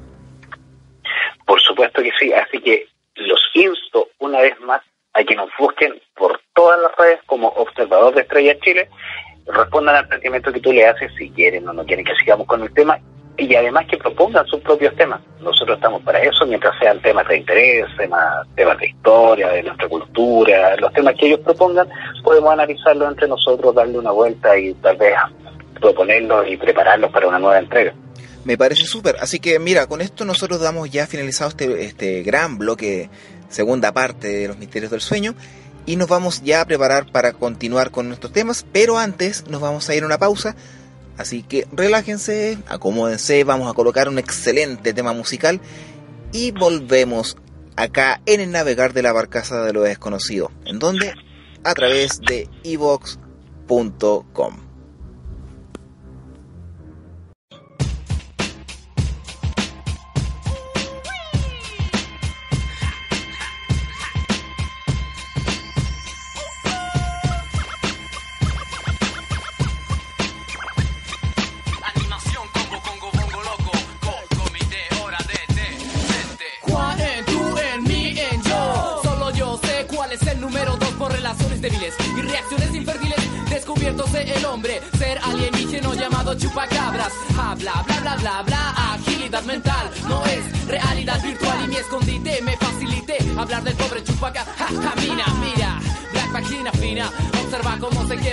disca en mi finga y dice, wow, wow, wow, yo. Siguiendo el refrán, smoke, smoke, smoke. Violando el tiempo, dejándote pa' dentro. 21 seco, abra, cadabra, chupacabras. Una penetración al hoyo negro del espacio enfermo. La, la, la, la, la, la, la. Batman, Superman, Aquaman, Redman, no, no se comparan con el chup chupacabras. Es porque pego mi propio ego, me conduce a lo que hago, te atrapo. Batman, Superman, Aquaman, Redman, con el chup chupacabras. La apuesta eterna, el cubo humano de aceite, vente porque yo soy. Hey, se cierra la puerta de mente. Llama, llama, llama, llama, llaman. Llaman a la puerta, llaman. Llama, llama, llama, llama, llaman. Llaman a la puerta, llaman. Es una vida casi extinta en el planeta. Es algo que viene más allá de las estrellas. Chupa, absorbe, niñas bellas, buscador, amador de sexo. Sangre, hambre de olor femenino, confundido. Como el violador de Maipú, chupacabra será diente, como yo y tú. Tapia, rabia contra la mafia del chupacabra. Vemos a diario creando espantos, pasos, caminos sin recordar. Estoy de aquí para allá, vagando, probando eh, el jugo de la granja del ganchamán. Mirada viene, mirada van. Entre medio de las plantas me mira hacia acá. Juan, Juan, Siendo el chupacabras, la hinchada de bandas del barrio. Copiguano, marihuano, tanteando lo humano. Así que no muerdas la mano a la cual te da de comer, óyeme. La peña de gracia y su combo dando jugo como loco. Evolución, revolucionaria, adicción, pasión, acción, animación, útero, chivalingo, fiebre. Incienso, método de todo, jugo de gracia espacial, mafia, ganjas activo. Papi de maligno, cuando el diablo se pone frente a mi signo Virgo, mi corazón. po, po. Yo, yo digo como no plástico, ando en los pies como elástico y una vez más fuerte, débil, flaco, estéril. Como Elvis mueve la pelvis, el ser humano hace mover la mente vente. Batman, Superman, Aquaman, Redman, no, no se comparan con el chu- chupacabras es porque pego mi propio ego me conduce a lo que hago te atrapo Batman, Superman, Aquaman, Redman no, no se comparan con el chu- chupacabras la apuesta eterna el cubo humano de aceite vente porque yo soy Juan de repente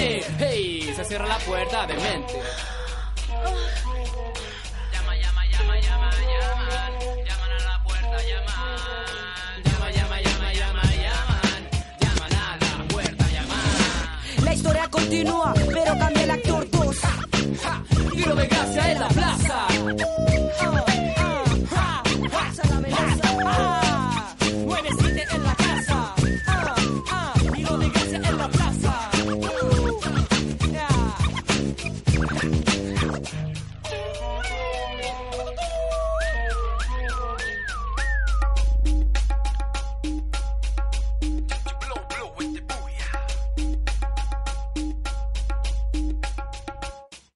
un momento creí que era alienígeno.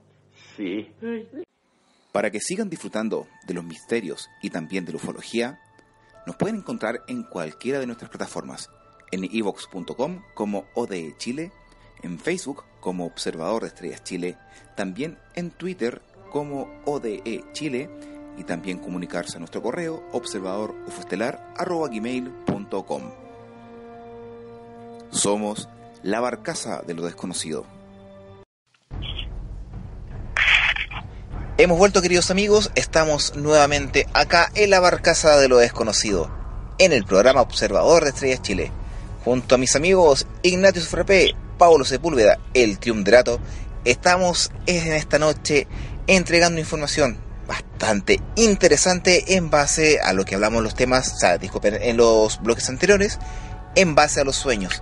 Gran tema, interesante, queda mucho por hablar, mucho por comentar y también entregar a todos ustedes, pero vamos a dejar la puerta abierta, como dije anteriormente, para continuar más adelante.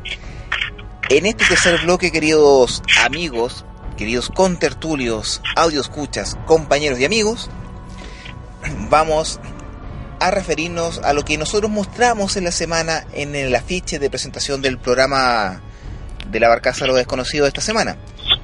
De aquí me refiero a aquel ser que supuestamente, según lo que dicen algunos teóricos conspirativos, ser alienígena, ser inter- interdimensional, ser criptozoológico. ¿A quién me refiero? Al famoso chupacabras. Ahora, chupacabras es un término críptido. ¿A qué me refiero con críptido? De criptozoología. Y viene básicamente, teóricamente, viene del griego criptos, que significa oculto, zoos de animal y logos de estudio.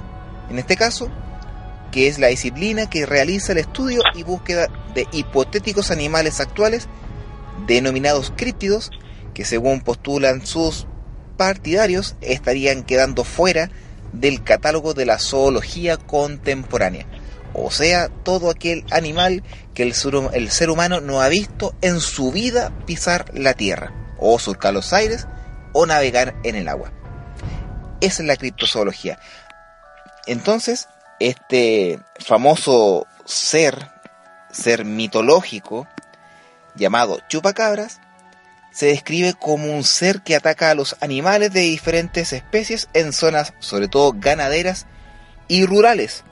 En ningún momento zona urbana. Táchese, colóquese comillas, subráyese, sub- eh, cursiva y negrilla. En ningún momento ha atacado zonas rurales. O sea, disculpe, zonas urbanas. Ahora, este mito, todos se preguntan de dónde nació, de dónde apareció. Tuvo su origen el año 1995. En este caso, en la isla de Puerto Rico. No exactamente de quien hablábamos en backstage, así que amigos que están conmigo en el programa, por favor no se adelanten. Pero sí comenzó y desde aquel entonces se han reportado diversos supuestos avistamientos, ataques en en lugares tan lejanos como Maine, Chile. Se incluye en nuestro país, y no solamente uno, que nos vamos a tocar más adelante, sino que también lugares tan distantes como Rusia, Filipinas, México, Costa Rica, Bolivia, Ecuador, Argentina, Brasil, República Dominicana, Honduras, Nicaragua, etc., etc., etc. Inclusive hasta en Estados Unidos. Ahora, ¿de dónde proviene el nombre? Eh, proviene del, supuesto hábitos de esta criatura, que de la cual se cree que ataca solamente a, a animales domésticos, especialmente cabras, las cuales succiona toda la sangre del cuerpo. Ahora, las descripciones físicas de la criatura varían del lugar donde ha sido visto, o supuestamente ha sido avistado, pero comúnmente se describe como una criatura grande, del tamaño de un oso pequeño y con una hilera de espinas abarcando desde el cuello hasta la base de la cola. Ahora, la gran mayoría de los avistamientos de este ser ha sido descartado o nunca han sido probados, ni mucho menos confirmados, debido a las pruebas. Nadie tiene una fotografía, nadie ha tenido un trozo de sea de piel, de pelos o ha atrapado este supuesto animal. Pero en el caso de los avistamientos ocurridos, eh, en este caso en, en el norte de América, también en el sur, se ha verificado eh, repetidamente que las criaturas identificadas como chupacabras, o sea, las, supuestas fotografías o registros que han tenido de este ser, son en realidad perros u otros animales enfermos de sarna. Ahora, biólogos y oficiales de manejo de vida silvestre describen a las chupacabras como una leyenda urbana contemporánea. A grandes rasgos, podemos explicar que el chupacabras es un ser mitológico. Así tal cual. Yo creo que ustedes, amigos míos, contertulios que me están acompañando esta noche acá en la barcaza de lo desconocido, y también Ignatius y Paolo, pueden afirmar lo que yo acabo de decir. Eso es metódicamente la base del estudio o la información oficial que describe al chupacabras. Pero nosotros tenemos muchas versiones que pueden homologar la información que acabo de entregar. Yo creo que más de algunos de ustedes, Ignatius, yo sé que has escuchado del chupacabras. Sí, y la última aparición también, que me llamó bastante la atención, pero prefiero darle pie en este caso a, a Paolo. ¿Ya? ¿Sí? Sí, que él me estaba contando más eh, bueno, la, la noticia más actualizada del chupacabra acá en, en, en nuestro país. Así es. Pero antes de irnos a esa parte, a esa parte fundamental de esta descripción de este animal criptozoológico, primero tenemos que abarcar, porque nos vamos a referir a Chile, que es nuestro país, porque ha estado muchas veces visitándonos en reiteradas oportunidades en nuestro país. ¿Y a dónde nos vamos a ir? Al año 2000. Y aquí nuestro querido amigo Paulo Sepúlveda me va a apoyar. Porque estuvimos conversando y claro, hay muchas teorías de lo que pasa o qué pasó en el año 2000. Y nos vamos a dirigir a Calama, segunda región de Chile, región de Antofagasta. ¿Te recuerdas cuando tocó el año 2000, atacó el chupacabras en el norte Pablo? Efectivamente, sí lo recuerdo. Fue muy bullado, muy vilipendiado en televisión, montones de programas, reportajes, diarios, revistas, entrevistas. Fue como el boom, por así decirlo, porque era la, la primera intervención que, que teníamos en Chile y como tantas veces y misteriosamente siempre en el sector norte chico, zonas aledañas de- del misterio, podríamos decir propiamente tal ya de esta zona de nuestro país. Mira, este, este ataque se caracterizó más que nada porque el, este chupacabras, o supuesto ser, estuvo presente en el norte de Chile, en, este caso en el norte de Chile, y atacó muchas zonas de ganadería cabrina, o sea, de cabros, de cabritos. Y eh, en este caso se crearon muchas mucha histeria colectiva en base al avistamiento, de que lo encontraron, de que lo vieron, de que and- andaba rondando por los lugares. Pero lo que más llamó la atención, más que la visita de este animal extraño, fue la visita de una entidad estadounidense que se apostó y estuvo por varios días en el aeropuerto del Loa de Calama. ¿Quiénes serían ellos, Paolo?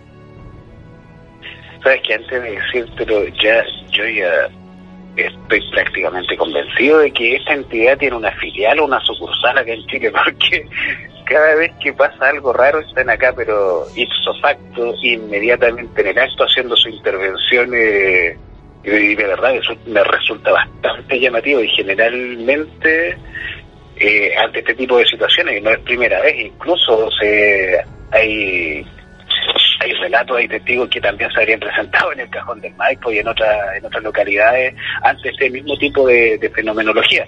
Me imagino que te refieres a la NASA, ¿cierto? Pablo, paréntesis, recordemos que también hay un hay un relato de una persona del norte, del 2012, que aseguró ver a, al chupacabra y dos chupacabras más pequeños. Lo aseveraba como si hubiera sido, no sé, la hembra y una cría. No sé si Efectivamente. historia.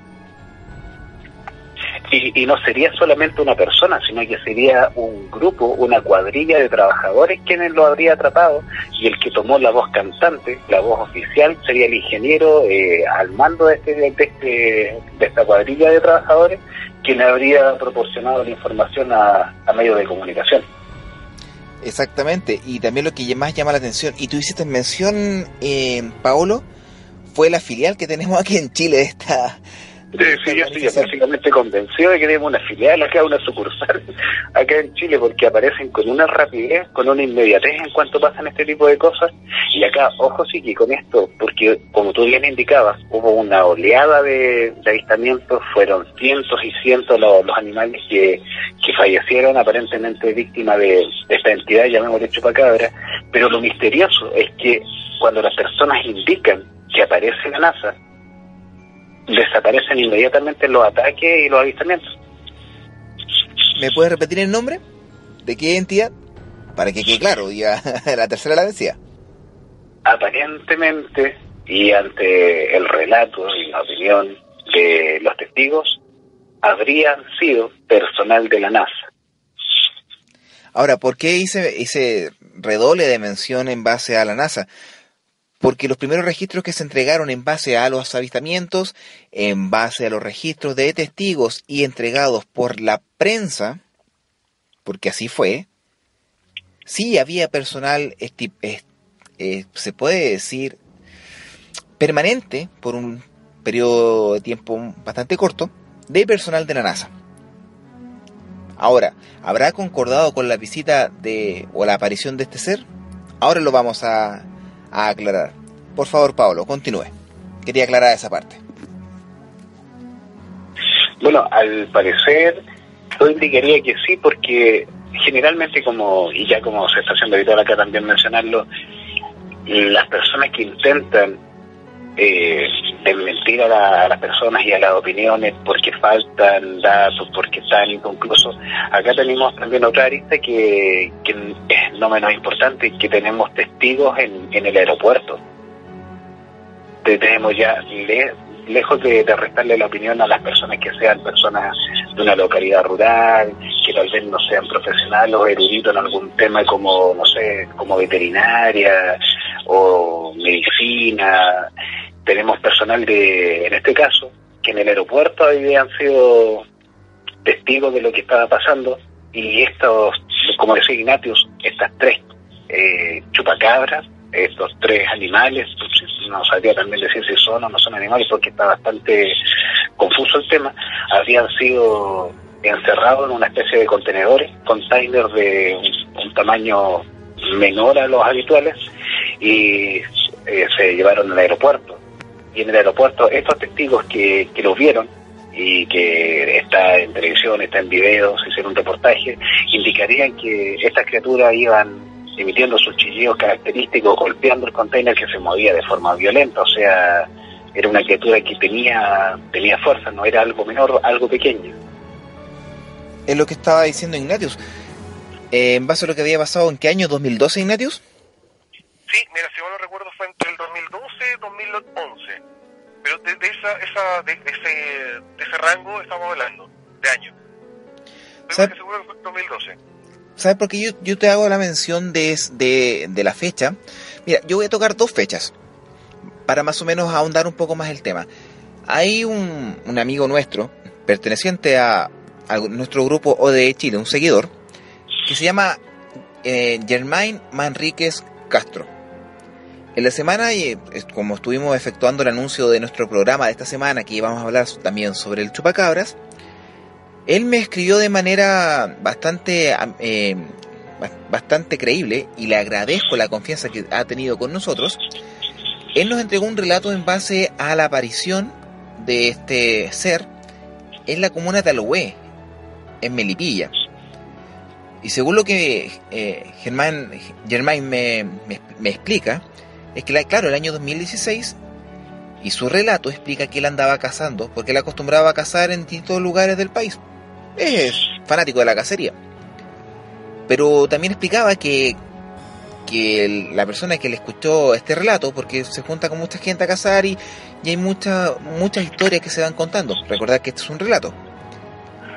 Eh, estaban manejando una camioneta por un camino sin iluminación hasta que en ese momento en compañía de su papá y un tío quienes iban en la parte trasera de un vehículo que estaban cazando lograron disparar a un ser en la oscuridad pero cuando alumbraron con las luces que llevaba esta camioneta se dieron cuenta que este animal se había arrinconado a un costado del camino cercano entre el, el pastizal en unos arbustos. Ahora, se acercaron hasta quedar a un costado donde estaba este supuesto ser extraño que habían visto, que no lo identificaban con, con ningún tipo de animal que ellos estaban acostumbrados de cazar. Hablemos de conejos, liebres, algún zorro que pueda andar dando vuelta por aquí y por allá, pero este ser era extraño, era totalmente raro. Ahora, ¿qué, qué caracteriza a este relato? Es que no tardaron en acercarse y no dieron, en este caso no con más de 5 metros, volvieron a disparar las mismas escopetas de calibre 12, o sea, estamos hablando de un arma de alto calibre de fuego, que es bastante dañina, calibre 12. Lo dispararon más o menos 4 o 5 veces a este ser. Y dieron unos gritos tipo humano, de chillidos. Y ahí yo me engancho en lo que dijo Paolo con los registros que entregaban estos testigos en, en, el, en el aeropuerto de Loa cuando llevaban estos seres que habían capturado dentro de estos containers. El grito era muy similar, eran chillidos, casi humanos, y eran muy desgarradores. ¿Y qué es lo que hizo este ser? Se levantó en sus dos patas traseras y se fue dando saltos gigantescos por sobre un alambrado, tal cual lo hace un canguro. O sea, lo identificaron como saltos de canguros. Ahora, esta información que le llegó a Germain fue de parte de un, de un amigo que, que realmente confía y que obviamente hasta el día de hoy está en shock por lo que vio, porque dice que lo que vieron fue algo grotesco, algo horrible, que no está dentro de lo que corresponde al reino animal conocido, acá en Chile por lo menos. Y ahora lo que tú dices, Ignatius, que estas personas que atraparon a las supuestas crías y a este chupacabras, se asemeja mucho a lo que está nombrando Germain Manríquez Castro, que quiero agradecer el relato que él nos dio. ¿O no, Ignatius? Sí, efectivamente. Mira, estoy también eh, revisando eh, un, eh, algo que apareció en las noticias hace bastante tiempo atrás, que tiene que ver con Cristian Solís, el propietario de la parcela 10 de Champa, ¿Ya? en Paine. En Paine. Sí, sí ubico ese sector. Ya, perfecto. Bueno, la cosa es que eh, apareció también el SAC, apareció gente de la NASA, ¿Otra vez? y que... Mira, te lo voy a leer tal cual. Ya. Sí, un- Ay, es, un, nosotros- es un regi- es un registro de investigación que nosotros recabamos, así que estás con toda la autoridad, amigo mío.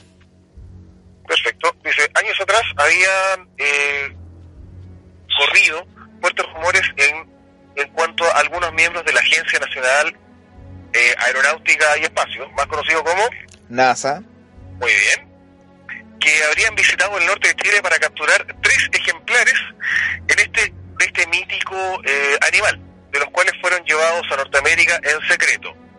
esos mismos eh, trascendieron, se aseguraron que fueran los chupacabras y sería el resultado de un experimento genético que haya realizado en un desierto de Atacama, considerado como uno de los lugares más secos e inhóspitos del- de la Tierra. Los ejemplares fueron llevados a Estados Unidos, según habrían sido eh, relatos por algunos pocos chilenos, eh, que lograron verlos, que medían un metro veinte y caminaban en dos patas. Eh, antes de eso, el campesino había explicado que las dos crías muertas fueron entregados al servicio agrícola y ganadero, conocido como, SAG. muy bien, que en un informe posterior dictaminó que no pudo determinar qué clase de animal pertenecían, debido a que eh, estos especímenes se encontraban demasiado deshidratados eh, como para saber, para hacer bien un análisis. El cuerpo de la cría restante, en tanto, todavía pertenece al, bueno, todavía, todavía lo tiene supuestamente Cristian Solís, en esa época, 2010-2012, 2011-2012, perdón, quien mantiene oculto y a salvo de las miradas de los curiosos, preservando en un frasco lleno de alcohol, eh, antes que era un escéptico, pero ahora eh, cree plenamente en estas criaturas que están muertas. Estoy seguro, dice, que fue el chupacabras el que mató a mis gallinas, concluyó. Mira, en base a lo que tú acabas de hacer mención, Ignatius, me voy a tomar la atribución y voy a, en este caso, primicia, porque no había sido dado a conocer. ODE Chile, Observador Estrella Chile, el año 2012, cuando se originó esta agrupación de investigación, tuvimos la posibilidad de poder entrevistar a personas y me voy a referir a la comuna de Curacaví. Todos dicen Curacaví, un lugar tranquilo, que no pasa nada. Amigos míos, les aseguro que es uno de los sectores que más cosas raras pasan. Y yo creo que todos los que conocen el sector lo saben. El año 2012 yo me dirigí a terreno porque en un lugar cercano que se llama Miraflores, aquí yo creo que alguno que es del sector y escucha nuestro programa, una se va a recordar del hecho porque está documentado en el periódico comunal, está documentado por la radio y por periodistas de otras entidades, ¿a qué me refiero? De, televisión y que nunca fue sacado a la luz. Yo me atreví a ir a, entrevistar. Inclusive está la grabación, lo cual tengo que recuperar.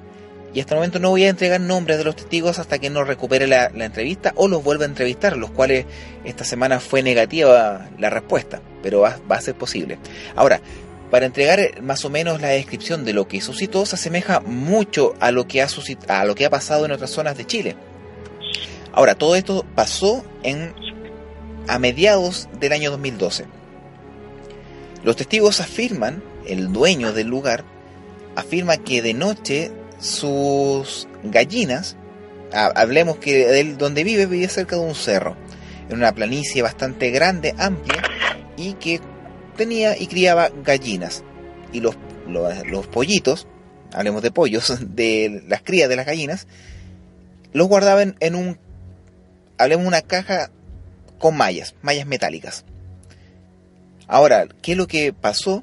Que los gritos de los vecinos alarmaron el sector porque los niños observaron a una criatura de color gris de aproximadamente un metro, metro veinte, con mucho pelo en el de la espalda, de pies tenía pezuñas como las cabras, ojos amarillos, con el hocico largo, manos con garras, y que se sentía cuando pasaba y corría por el sector porque se sentía los golpes en el piso.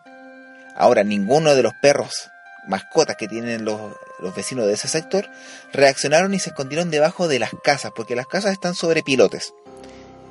Y los que vieron a este ser fueron niños, niños de entre 8 y 12 años. Y para que ah, eh, todos los niños concluyeran que vieron a ese ser extraño de las mismas características, no conlleva no creer. Y lo que más sorpresa causó, de que uno de los gatos, dueños de mascotas de los vecinos del sector, al saltar de miedo, este ser lo atrapó y lo cortó por la mitad. Y que de un salto gigantesco desapareció. ¿Y qué es lo que pasó con todo eso?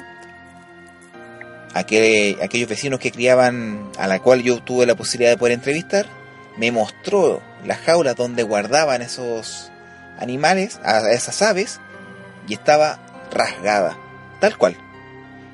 Obviamente los, los las aves que había, habían sido atacadas, él se deshizo de ellas, por miedo. Pero lo que más se caracteriza y me dice que todas las gallinas que tenía guardadas en esa jaula, que eran aproximadamente 15, estaban todas muertas con, un agu- con dos agujeros, o unos, no me recuerdo muy bien, pero sí tenían agujeros en el cuello. Estaban eh, muertas, tiesas, como él, le hacía mención, pero no había ningún rastro de sangre, lo que más causaba duda. Y estaba lleno de plumas, como, como si lo hubiera desgarrado y lo hubiera succionado la sangre. Ahora, él no sintió bullas de ninguna de las gallinas, lo cual le causó más, más la duda. Pero sí la jaula de al lado, donde habían gallinas o crías de gallinas muy más pequeñas, intentaron abrirla con fuerza, pero no fueron capaces de hacerlo. Y ellas, esas, eh, esas criaturas, esos pollitos, se salvaron. Fue un relato que fue entregado a mi persona, tal cual lo usted- ustedes lo escucharon, y con temor y miedo me lo entregaron aquel, aquel año 2012. Y esto fue comunicado a investigadores aquí en Chile, no voy a dar el nombre de quién porque no fue tomado en cuenta, diciendo que no era de su ámbito, no era de su am- campo de investigación y no le interesaba poder investigar, pero sí fue bastante noticiado acá en Curacaví y también en los medios de comunicación. Y se asemeja mucho a lo que tú acabas de hacer y en la misma fecha que fueron capturados en el norte, Ignatius. ¿Qué tal? Ese es un relato que de investigación que nosotros teníamos guardado en nuestros archivos que ahora lo queremos sacar a la luz y eso pasó el año 2012 y así también fueron fue avistado a plena, a plena luz del día por un trabajador agrícola a los días siguientes dentro de un maizal y que esta criatura que con el reflejo del sol apenas pudo ver brincó y saltó sobre un poste de la luz que estaba cercano al lugar y dando chillidos. Eso es lo que más me caracterizó. Los chillidos que, ya, que daba, que los gritos, que era muy similar a lo que yo creo escucharon dentro del contenedor que Paolo hacía mención. Entonces, este relato junto con el de Germain Manríquez entran como en la categoría de relatos y también de archivo histórico del avistamiento de este ser aquí en Chile. Que no solamente el 2010 en el norte, pero en 2000 en el norte, 2012 en el norte, 2006 en Melipilla y 2012 nuevamente aquí en Curacaví, y así también se suman muchos otros casos en otras partes de, de Chile, que esta criatura más que un mito se convirtió en realidad, y que no es tan, tan cierto que era un animal con tiña como se escribe en otras partes del mundo, sino que los relatos de los testigos, que fueron la mayoría niños, estamos hablando dos, tres fueron los que lo vieron, todos llegaron al mismo, eh, al mismo, no acuerdo, sino que a las mismas características de este ser extraño. Y lo que más me, les llamaba la atención y lo que más recalcaron, y me lo decían una y otra vez, los ojos amarillos y brillantes, y chillaba y mató a ese pobre gato. ¿Qué les parece? Hermoso. Mira, una acotación que, que quería eh, sacar. Los postes de alumbrado público del suelo, ¿cierto? Hacia arriba, son de 6 metros y medio. Más o menos como para que se para que se eh, imaginen el salto que se pegó, porque eso fue prácticamente volar. Sí, exacta, exactamente. Es un salto increíble que dio. Ahora, Pablo, ¿qué- ¿qué, qué opina usted sobre, una, el relato que pude dar y lo que se puede aseverar a los avistamientos que ha tenido en Chile y en el mundo de este chupacabras? A mí me parece un tema súper complejo. Yo no sé qué vamos a tener que hacer de ahora en adelante con los temas, porque para que hacemos un programa de cinco horas va a dejar un tema cerrado. Primero que todo, y bien tú dijiste, eh, al empezar con el tema de chupacabra, yo, claro, con la presentación que hiciste no, no estuve de acuerdo porque lo, lo calificado, según los entendidos, las personas que se pronuncian, calificando este hecho como parte de la mitología y no es así porque cuando tú hablas de un ser mitológico no hay evidencias como en este caso cientos y cientos y cientos de animales muertos acá por lo menos en Chile. Entonces un ser mitológico no, no deja nada, no deja evidencia, no deja rastro, no deja muerte. En este caso también indicar que la criptozoología, si bien he dicho el término como tú bien lo desglosaste, la etimología de la palabra es el estudio de animales ocultos, pero existe una facultad, hay una rama de, de criptozoología que año a año descubren animales que se pensaban que de verdad no existían y sí existen. De hecho, hace un par de años atrás se volvieron a encontrar los celacantos, que son uno de los peces prehistóricos más antiguos que existen y que se habían extinguido hace millones de años. O como la víbora que encontraron la multicolor en, en México que estaba extinta hace 80 años. El caso del tilacino, Eh, y, y más, el tigre de Tasmania. El tigre de Tasmania, claro, también. claro, y más aún, todos los años se descubren animales nuevos que no están datados dentro del, de lo convencional. Son eh, efectivamente animales nuevos. Aún así hay que hacer la mención que es muy difícil encontrar mamíferos nuevos, pero el año pasado eh, creo que fueron dos los nuevos mamíferos que se incorporaron que no estaban catalogados. O sea que aquí podríamos estar, eh, bueno, este tema como digo es súper complejo, podríamos estar ante un animal que no conocemos, pero aquí ya volvemos con el tema de siempre. ¿Qué hace la NASA en Chile? Porque yo entiendo tal vez que el ejército puede intervenir en un, en un riesgo a la población, pero la NASA tiene que ver con, con fenómenos que son aeroespaciales. Entonces, ¿qué hacen ellos tras la búsqueda de lo que a grandes rasgos o aparentemente sería un animal? Eh, A menos que no fuese un, a menos que no fuese un animal de acá, de la Tierra. Claro, lo que, lo que pasa es que las teorías conspirativas hablan que este supuesto ser es un experimento biológico utilizado como arma. Inclusive habían teorías que hablaban que este, este ser había, eh, había sido creado para el control del Vietcong en los años antaños y también control de las guerrillas. En este caso en las selvas de Colombia y- y lugares cercanos y que por eso había sido soltado y que se había escapado por este experimento. Son teorías que puedes encontrar por internet. Eso no lo estoy diciendo que yo lo estoy diciendo, sino que solamente lo que nosotros podemos investigar. O también que vinieron a experimentar aquí a Chile el año 2000 y que este animal se soltó, se comenzó a multiplicar y que están las, están las respuestas que hemos dado hasta ahora. Ataques, uno tras otro, y así hay muchos más aquí en Chile, pero que no se quieren dar a conocer, una porque van a causar ridículo, porque lamentablemente los escépticos provocan eso en los testimonios, que estamos locos, que son puras tonteras, que no tenemos la razón, que estamos alarmando a la gente, pero aquí nosotros solamente estamos recabando datos de testigos, de testigos que vieron, lo sintieron y, y en este caso yo pude vivir in situ eh, las pruebas de los testigos que vieron a ese ser, como ata- en este caso como dejó a, a- a las aves después de haber atacado y, y otras cosas más. Y lo que tú decías, Ignatius, las crías que fueron atrapadas o los testimonios de lo que fue atrapado y lo que dice Paolo, ¿por qué la NASA estaba acá? Y eso está registrado, estuvieron Pero, en a Canadá. ver, eh, paréntesis, amigo Mario, amigo Paolo. Seamos realistas, Chile, el norte de Chile, es uno de los cielos más limpios del mundo. Eso es verídico, ¿cierto? Así es. ¿Cuántos centros de mm, estudios de planetas tenemos en Chile? Eh, nos referimos a observatorios. Observatorio, sí, lo dijiste mejor. Yo no me acordaba de esa palabra, pero sí, iba para allá. Miras, a grandes rasgos unos 20. Perfecto. Pueden, ser, Entonces- pueden ser menos, pueden ser más. No tengo la cifra exacta, como lo dice un gran eh, un gran personaje que es bueno para debatir aquí en Chile, ¿tú sabes quién? no tengo el número exacto en este momento, pero aproximadamente son como menos de 20, pueden ser más. Pero más o menos esa es la cifra. Ya, pero mira, redondeando, tenemos una cifra que son más de más de 5. Ya, sí, sí, más de 5, mucho más de 5. Tenemos, tenemos unos cielos espectaculares, ideales para los avistamientos, para los contactos, eh, para la energía fotovoltaica. Y recordemos el caso de Paiguano.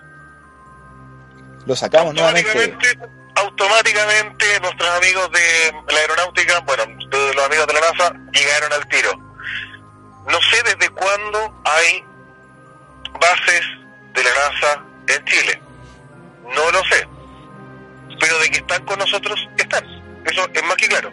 Y son No es que súper rápidos. ¿Ah? Son súper rápidos.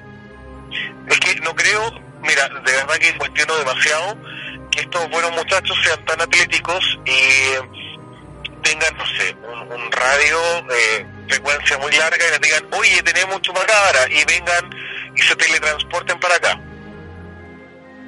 Lo cuestiono demasiado. Estos tipos tienen sus corporativos, sus eh, Reina Roja, por llamarlo de alguna forma, eh, acá en Chile, eso es claro.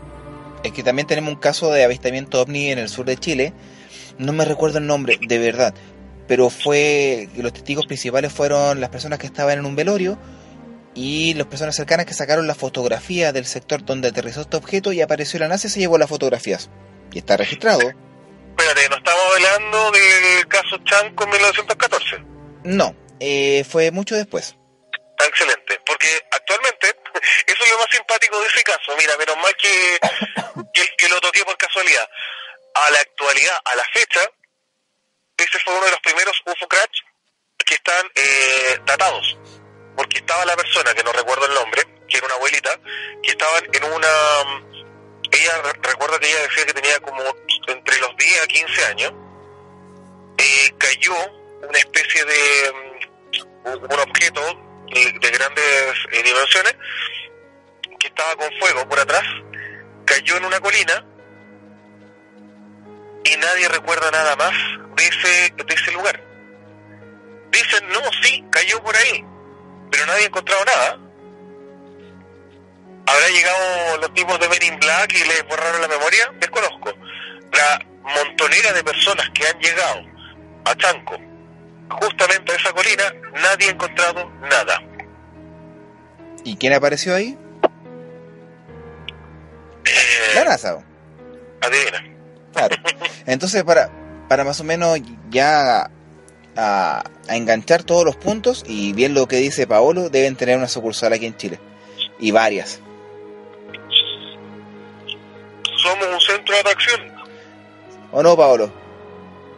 Eh, sí, yo, yo encuentro que este tema se suena complejo, pero creo que es mucho más complejo todavía porque hay, hay hartas aristas y hartos puntos de vista que no se pueden dejar de considerar. Tú nombrabas que Chupacabra la primera vez que atacó fue en, en Puerto Rico Sí, el año 95. y justamente, no, no sé si, si tú lo sabes, me imagino que sí, en Puerto Rico está el Cerro del Yunque. Cerro del Yunque es donde supuestamente se trasladó todo lo que es la infraestructura de lo que fue el, pro- el proyecto Filadelfia. Y como dato adicional, para completar lo que tú estás diciendo, Paolo, en Puerto Rico, las Fuerzas Armadas de Puerto Rico, adivina a quién pertenecen. y estamos súper claros, al igual que Dominicana y todo el imperio que querían hacer junto con, con Cuba, en, en ese sector de ahí. Exacto. Y lógicamente, exactamente ahí, como, como te digo, en Puerto Rico, el Cerro del Yunque, eh, hay una base, una base militar norteamericana, donde se habrían trasladado supuestamente todo lo que, lo que fue, lo que quedó del, del experimento Filadelfia para trabajar ahí. Y ahí, también, efectivamente, como tú dices, fueron los primeros ataques del, chuca- del chupacabra. Ahora yo esto lo pienso, no lo leí en ningún lado, ni, ni lo he visto en ningún lugar. El, el experimento Filadelfia, como nosotros bien sabemos, eh, en realidad no, no es mucho lo, lo que sabemos, solamente lo que sucedió, lo que nos puede permitir plantearnos como una hipótesis de que tal vez hubo un movimiento dimensional, espacio-temporal, ya que las personas fallecieron, eh, quedaron incorporados a la materia, pero si alguien no conoce el tema, por ejemplo, unas personas quedaron atravesando la pared, una parte por un lado, otra parte por el otro, o sea, hubo un movimiento atómico molecular que hacía que las cosas se fusionaran. Ahí viene ya, ya está divagar, pero no sería tal vez que en ir y volver de una dimensión se pudo tal vez traer un animal que no pertenece a esta realidad. Es una de las teorías posibles. podría ser, aunque también acá si lo vemos desde el punto de vista chilensis, que a nosotros no nos falta y no nos quedamos atrás en mitos y en tradiciones, acá nosotros en Chile, aparentemente este ser animal, aparentemente sería un animal, eh, correspondería al tipo de animal de, del tipo hematófago que se alimenta de, de sangre como algunos murciélagos y otros animales, pero acá nosotros dentro de la mitología chilena también tenemos algunos seres que son mitológicos, estos sí son mitológicos, que son de características hematófagas, como por ejemplo el archiconocido y bien nombrado, el Piuchén. El Piuchén se nombra desde antes de la llegada de los, de los españoles acá a Chile y se nombra de muchas formas, pero más allá de, de las distintas formas que se le dio al Piuchén, yo creo que corresponde a su etapa, a su etapa de crecimiento, porque el Piuchén aparentemente nacería siendo una especie de culebra con cabeza de gallo. Pero a medida que éste va creciendo, va también tomando sus alas y sus garras. Y aquí también yo quiero, quiero hacer mención de esto, porque esto lo vi en la televisión y no viendo programas de, de Fernando nada, sino que en las noticias yo vi a personas indicando de las localidades de Toñigüe y de Parral en años anteriores que habían sido atacados por chupacabras y de hecho con controles médicos, con hematomas, con rajuños, personas bastante perturbadas con su nombre y apellido dando la cara en la televisión indicando que aparte de la, de la cantidad de animales que habían sido víctimas de esta criatura, ellos también habían sido atacados, no con la intención de matarlos o alimentarse de ellos, sino que en la fuga, en la carrera de este animal por escapar, habrían sido atacados. O sea, imagínate los testimonios que hay en, base a los ataques que también han sufrido de este ser y también que acá en Chile estaba desde antes algo muy similar en la mitología, pero no podemos eh, dejar a un lado que las teorías que tú acabas de exponer, Paolo, puedan ser ciertas. No podemos descartarlas, porque en primera instancia nadie ha podido ver una fotografía, nadie ha podido ver en un zoológico un chupacabras. Son solamente relatos, pero no podemos descartar los relatos de las personas que con temor y miedo nos han entregado de este ser. No podemos dejar a un lado. Es imposible. Acá, amigo Ignatius, y bueno, yo te propuse que, tocáramos este tema del chupacabra porque efectivamente, y tal cual decía Ignatius, en esta zona de, de Taiwano, hace un par de semanas atrás, atacó el chupacabra, o sea, recientemente, de hecho, en publicaciones del diario de septiembre y ahora en, en este mismo mes de octubre, Megavisión, un canal de acá de Chile, hizo un reportaje y se presenció en el lugar porque allí una persona, un señor llamado Manuel Castillo, que en estos momentos se desempeña como un comerciante, pero él es eh, ex funcionario de carabinero, sintió un ruido extraño en su domicilio, es un domicilio de campo, un domicilio rural, por lo que su patio es demasiado grande, y él pensó que le estaban robando las paltas, el aguacate, como lo dicen en otros lugares, el fruto del, del palto, y se levantó. Se levantó durante la noche y no, no pudo ver algo extraño, así que se volvió a acostar. En la mañana se levanta a las seis y media, esta noticia la recoge el, diario de la zona, y revisando su patio se encuentra que él tenía 76 gallinas y habían 60 muertas. Las 60 muertas estaban, eh, como ya es tradicional en este, este tipo de ataques, eh, sin sangre. Y murieron sin emitir ningún sonido. Y cerca de esta localidad, eh, esto que te estoy comentando, este, este personaje, Manuel Castillo, vive en el sector que se llama Andacollito, pero cerca de ese lugar está en la localidad de Campana, donde también en esos mismos días, y te estoy mencionando que fue exactamente el día jueves 6 de septiembre cuando habría sido este ataque, y hasta las primeras semanas de octubre en el sector de Aladaño estuvo atacando nuevamente el chupacabra. ¿Y por qué te lo hago mención con fechas? Porque también correspondería con el avistamiento de algunas luminarias extrañas en el sector nuevamente de la cuarta región de Chile. Y, tam- y también el relato que tú me acabas de hacer mención coincide con el testimonio que yo recogí de la gente que también sufrió el mismo ataque acá en Curacaví. Concuerda, al 100%. Y- y Tengo el documento acá y, y te quiero leer textual una parte que es muy cortita, pero dice, sería un animal de dos patas, del tipo como de cabro, afirma Manuel Castillo. O sea, coincide con, con la, las narraciones que ustedes me estaban diciendo anteriormente y también coincide con muchas partes del país y de otros lugares en donde indican claramente que lo que más llama la atención de este ser, entre todas las cosas, porque todo llama la atención, es los ojos, el color de los ojos y que este tendría una, una especie de, de cualidad hipnótica, ya que los animales que él ataca no emiten sonido, no se defienden, no gritan, quedan totalmente paralizados, por así decirlo. Y ningún, y ningún animal de, que se conoce hace eso. Otra Además que muchas personas, Dime, Ignatius. Perdón que interrumpa, otra cualidad que tiene este este buen esta buena esta linda criatura son las puntas que van desde su cabeza hasta el término de la cola, casi como una iguana. Claro, y como los testigos que indicaban haberlo visto, tenía, según ellos, lo que alcanzaron a ver era de noche, era pelo. Pero podría, podrían haber sido púas. Es que es distinto, hay distintas versiones de- dependiendo de las distintas localidades en donde se la ha visto, porque de hecho fue encomendada la labor a la PDI, Policía de Investigaciones, que, que tomara el caso.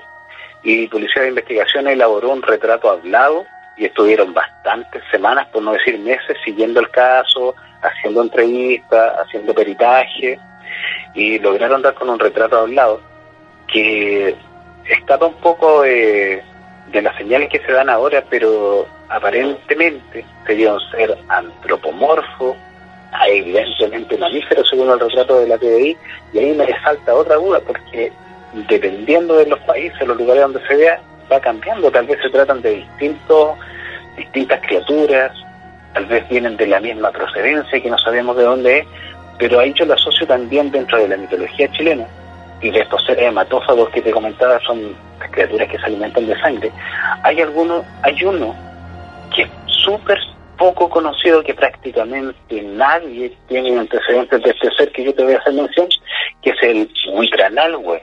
El Huitranalhue también desde antes de la llegada de los españoles acá a Chile, existía la leyenda, y esto ya más que criatura animalesca, pertenecería al ámbito brujerístico, por así decirlo, en donde los brujos mapuches, eh, esto, esto tiene bastante similitud con el vudú, eh, recurrían a buscar un, cadáver, necesitaban un muerto para esto, y a través de algunos salmos y algunos brebajes que ellos preparaban, podían traer a esta persona de vuelta a la vida, a la vida por así decirlo, porque no, no volvía a ser la persona quien era.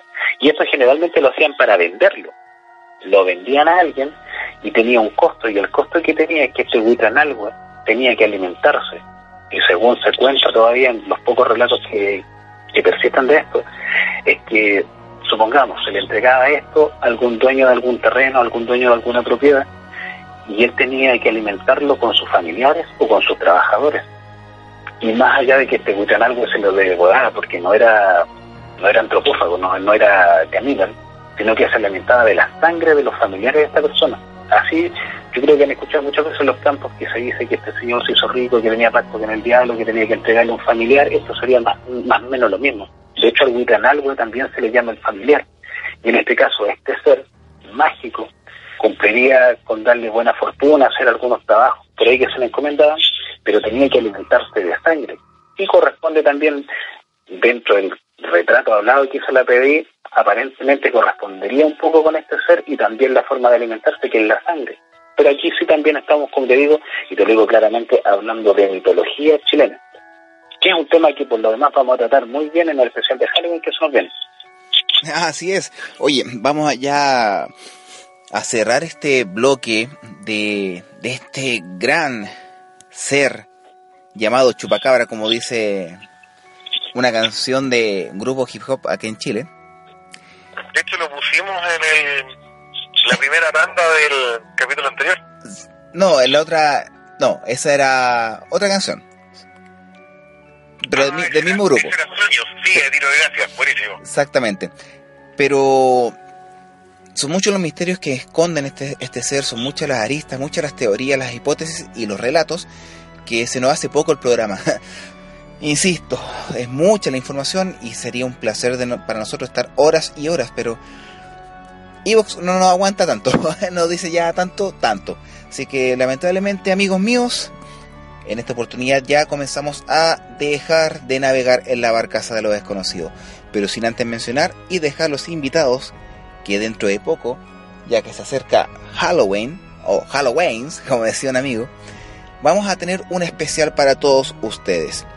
Vamos a acompañarlos en la noche previa al Día de Todos los Muertos, como se dice en Chile, o los difuntos. Y los vamos a estar acompañando con misterios, horrorosidades, leyendas y misterios de Halloween, el Día de los Muertos, o Noche de Brujas, como lo llaman en otras partes del mundo. No entregaremos ni trucos ni bromas, entregaremos relatos, historias que a ustedes los van a impactar. Así que, amigos míos, Ignatius, Paolo, ¿algo que decir? Eh, ¿Puedo? Permi- permiso. Para el próximo capítulo les tengo un hermoso asesino en serie que fue un acosador nocturno. Algo muy semejante, bueno, algo relativamente semejante a lo de Freddy Krueger.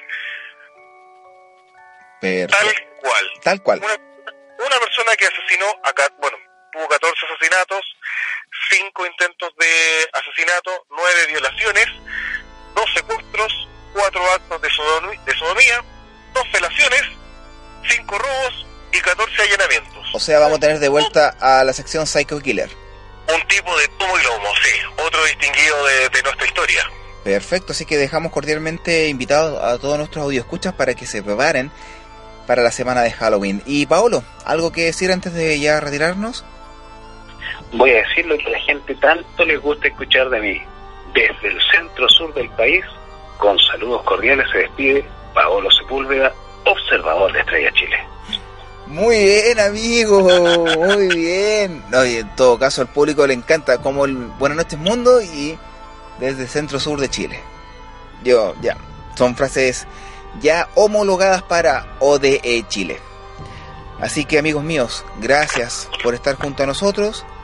Estamos finalizando este navegar de la barcaza de lo desconocido solamente por el día de hoy, porque vamos a continuar la próxima semana con el especial de Halloween y un nuevo capítulo de la barcaza de lo desconocido. Así que muchas gracias a todos ustedes y como siempre digo, nos estamos escuchando.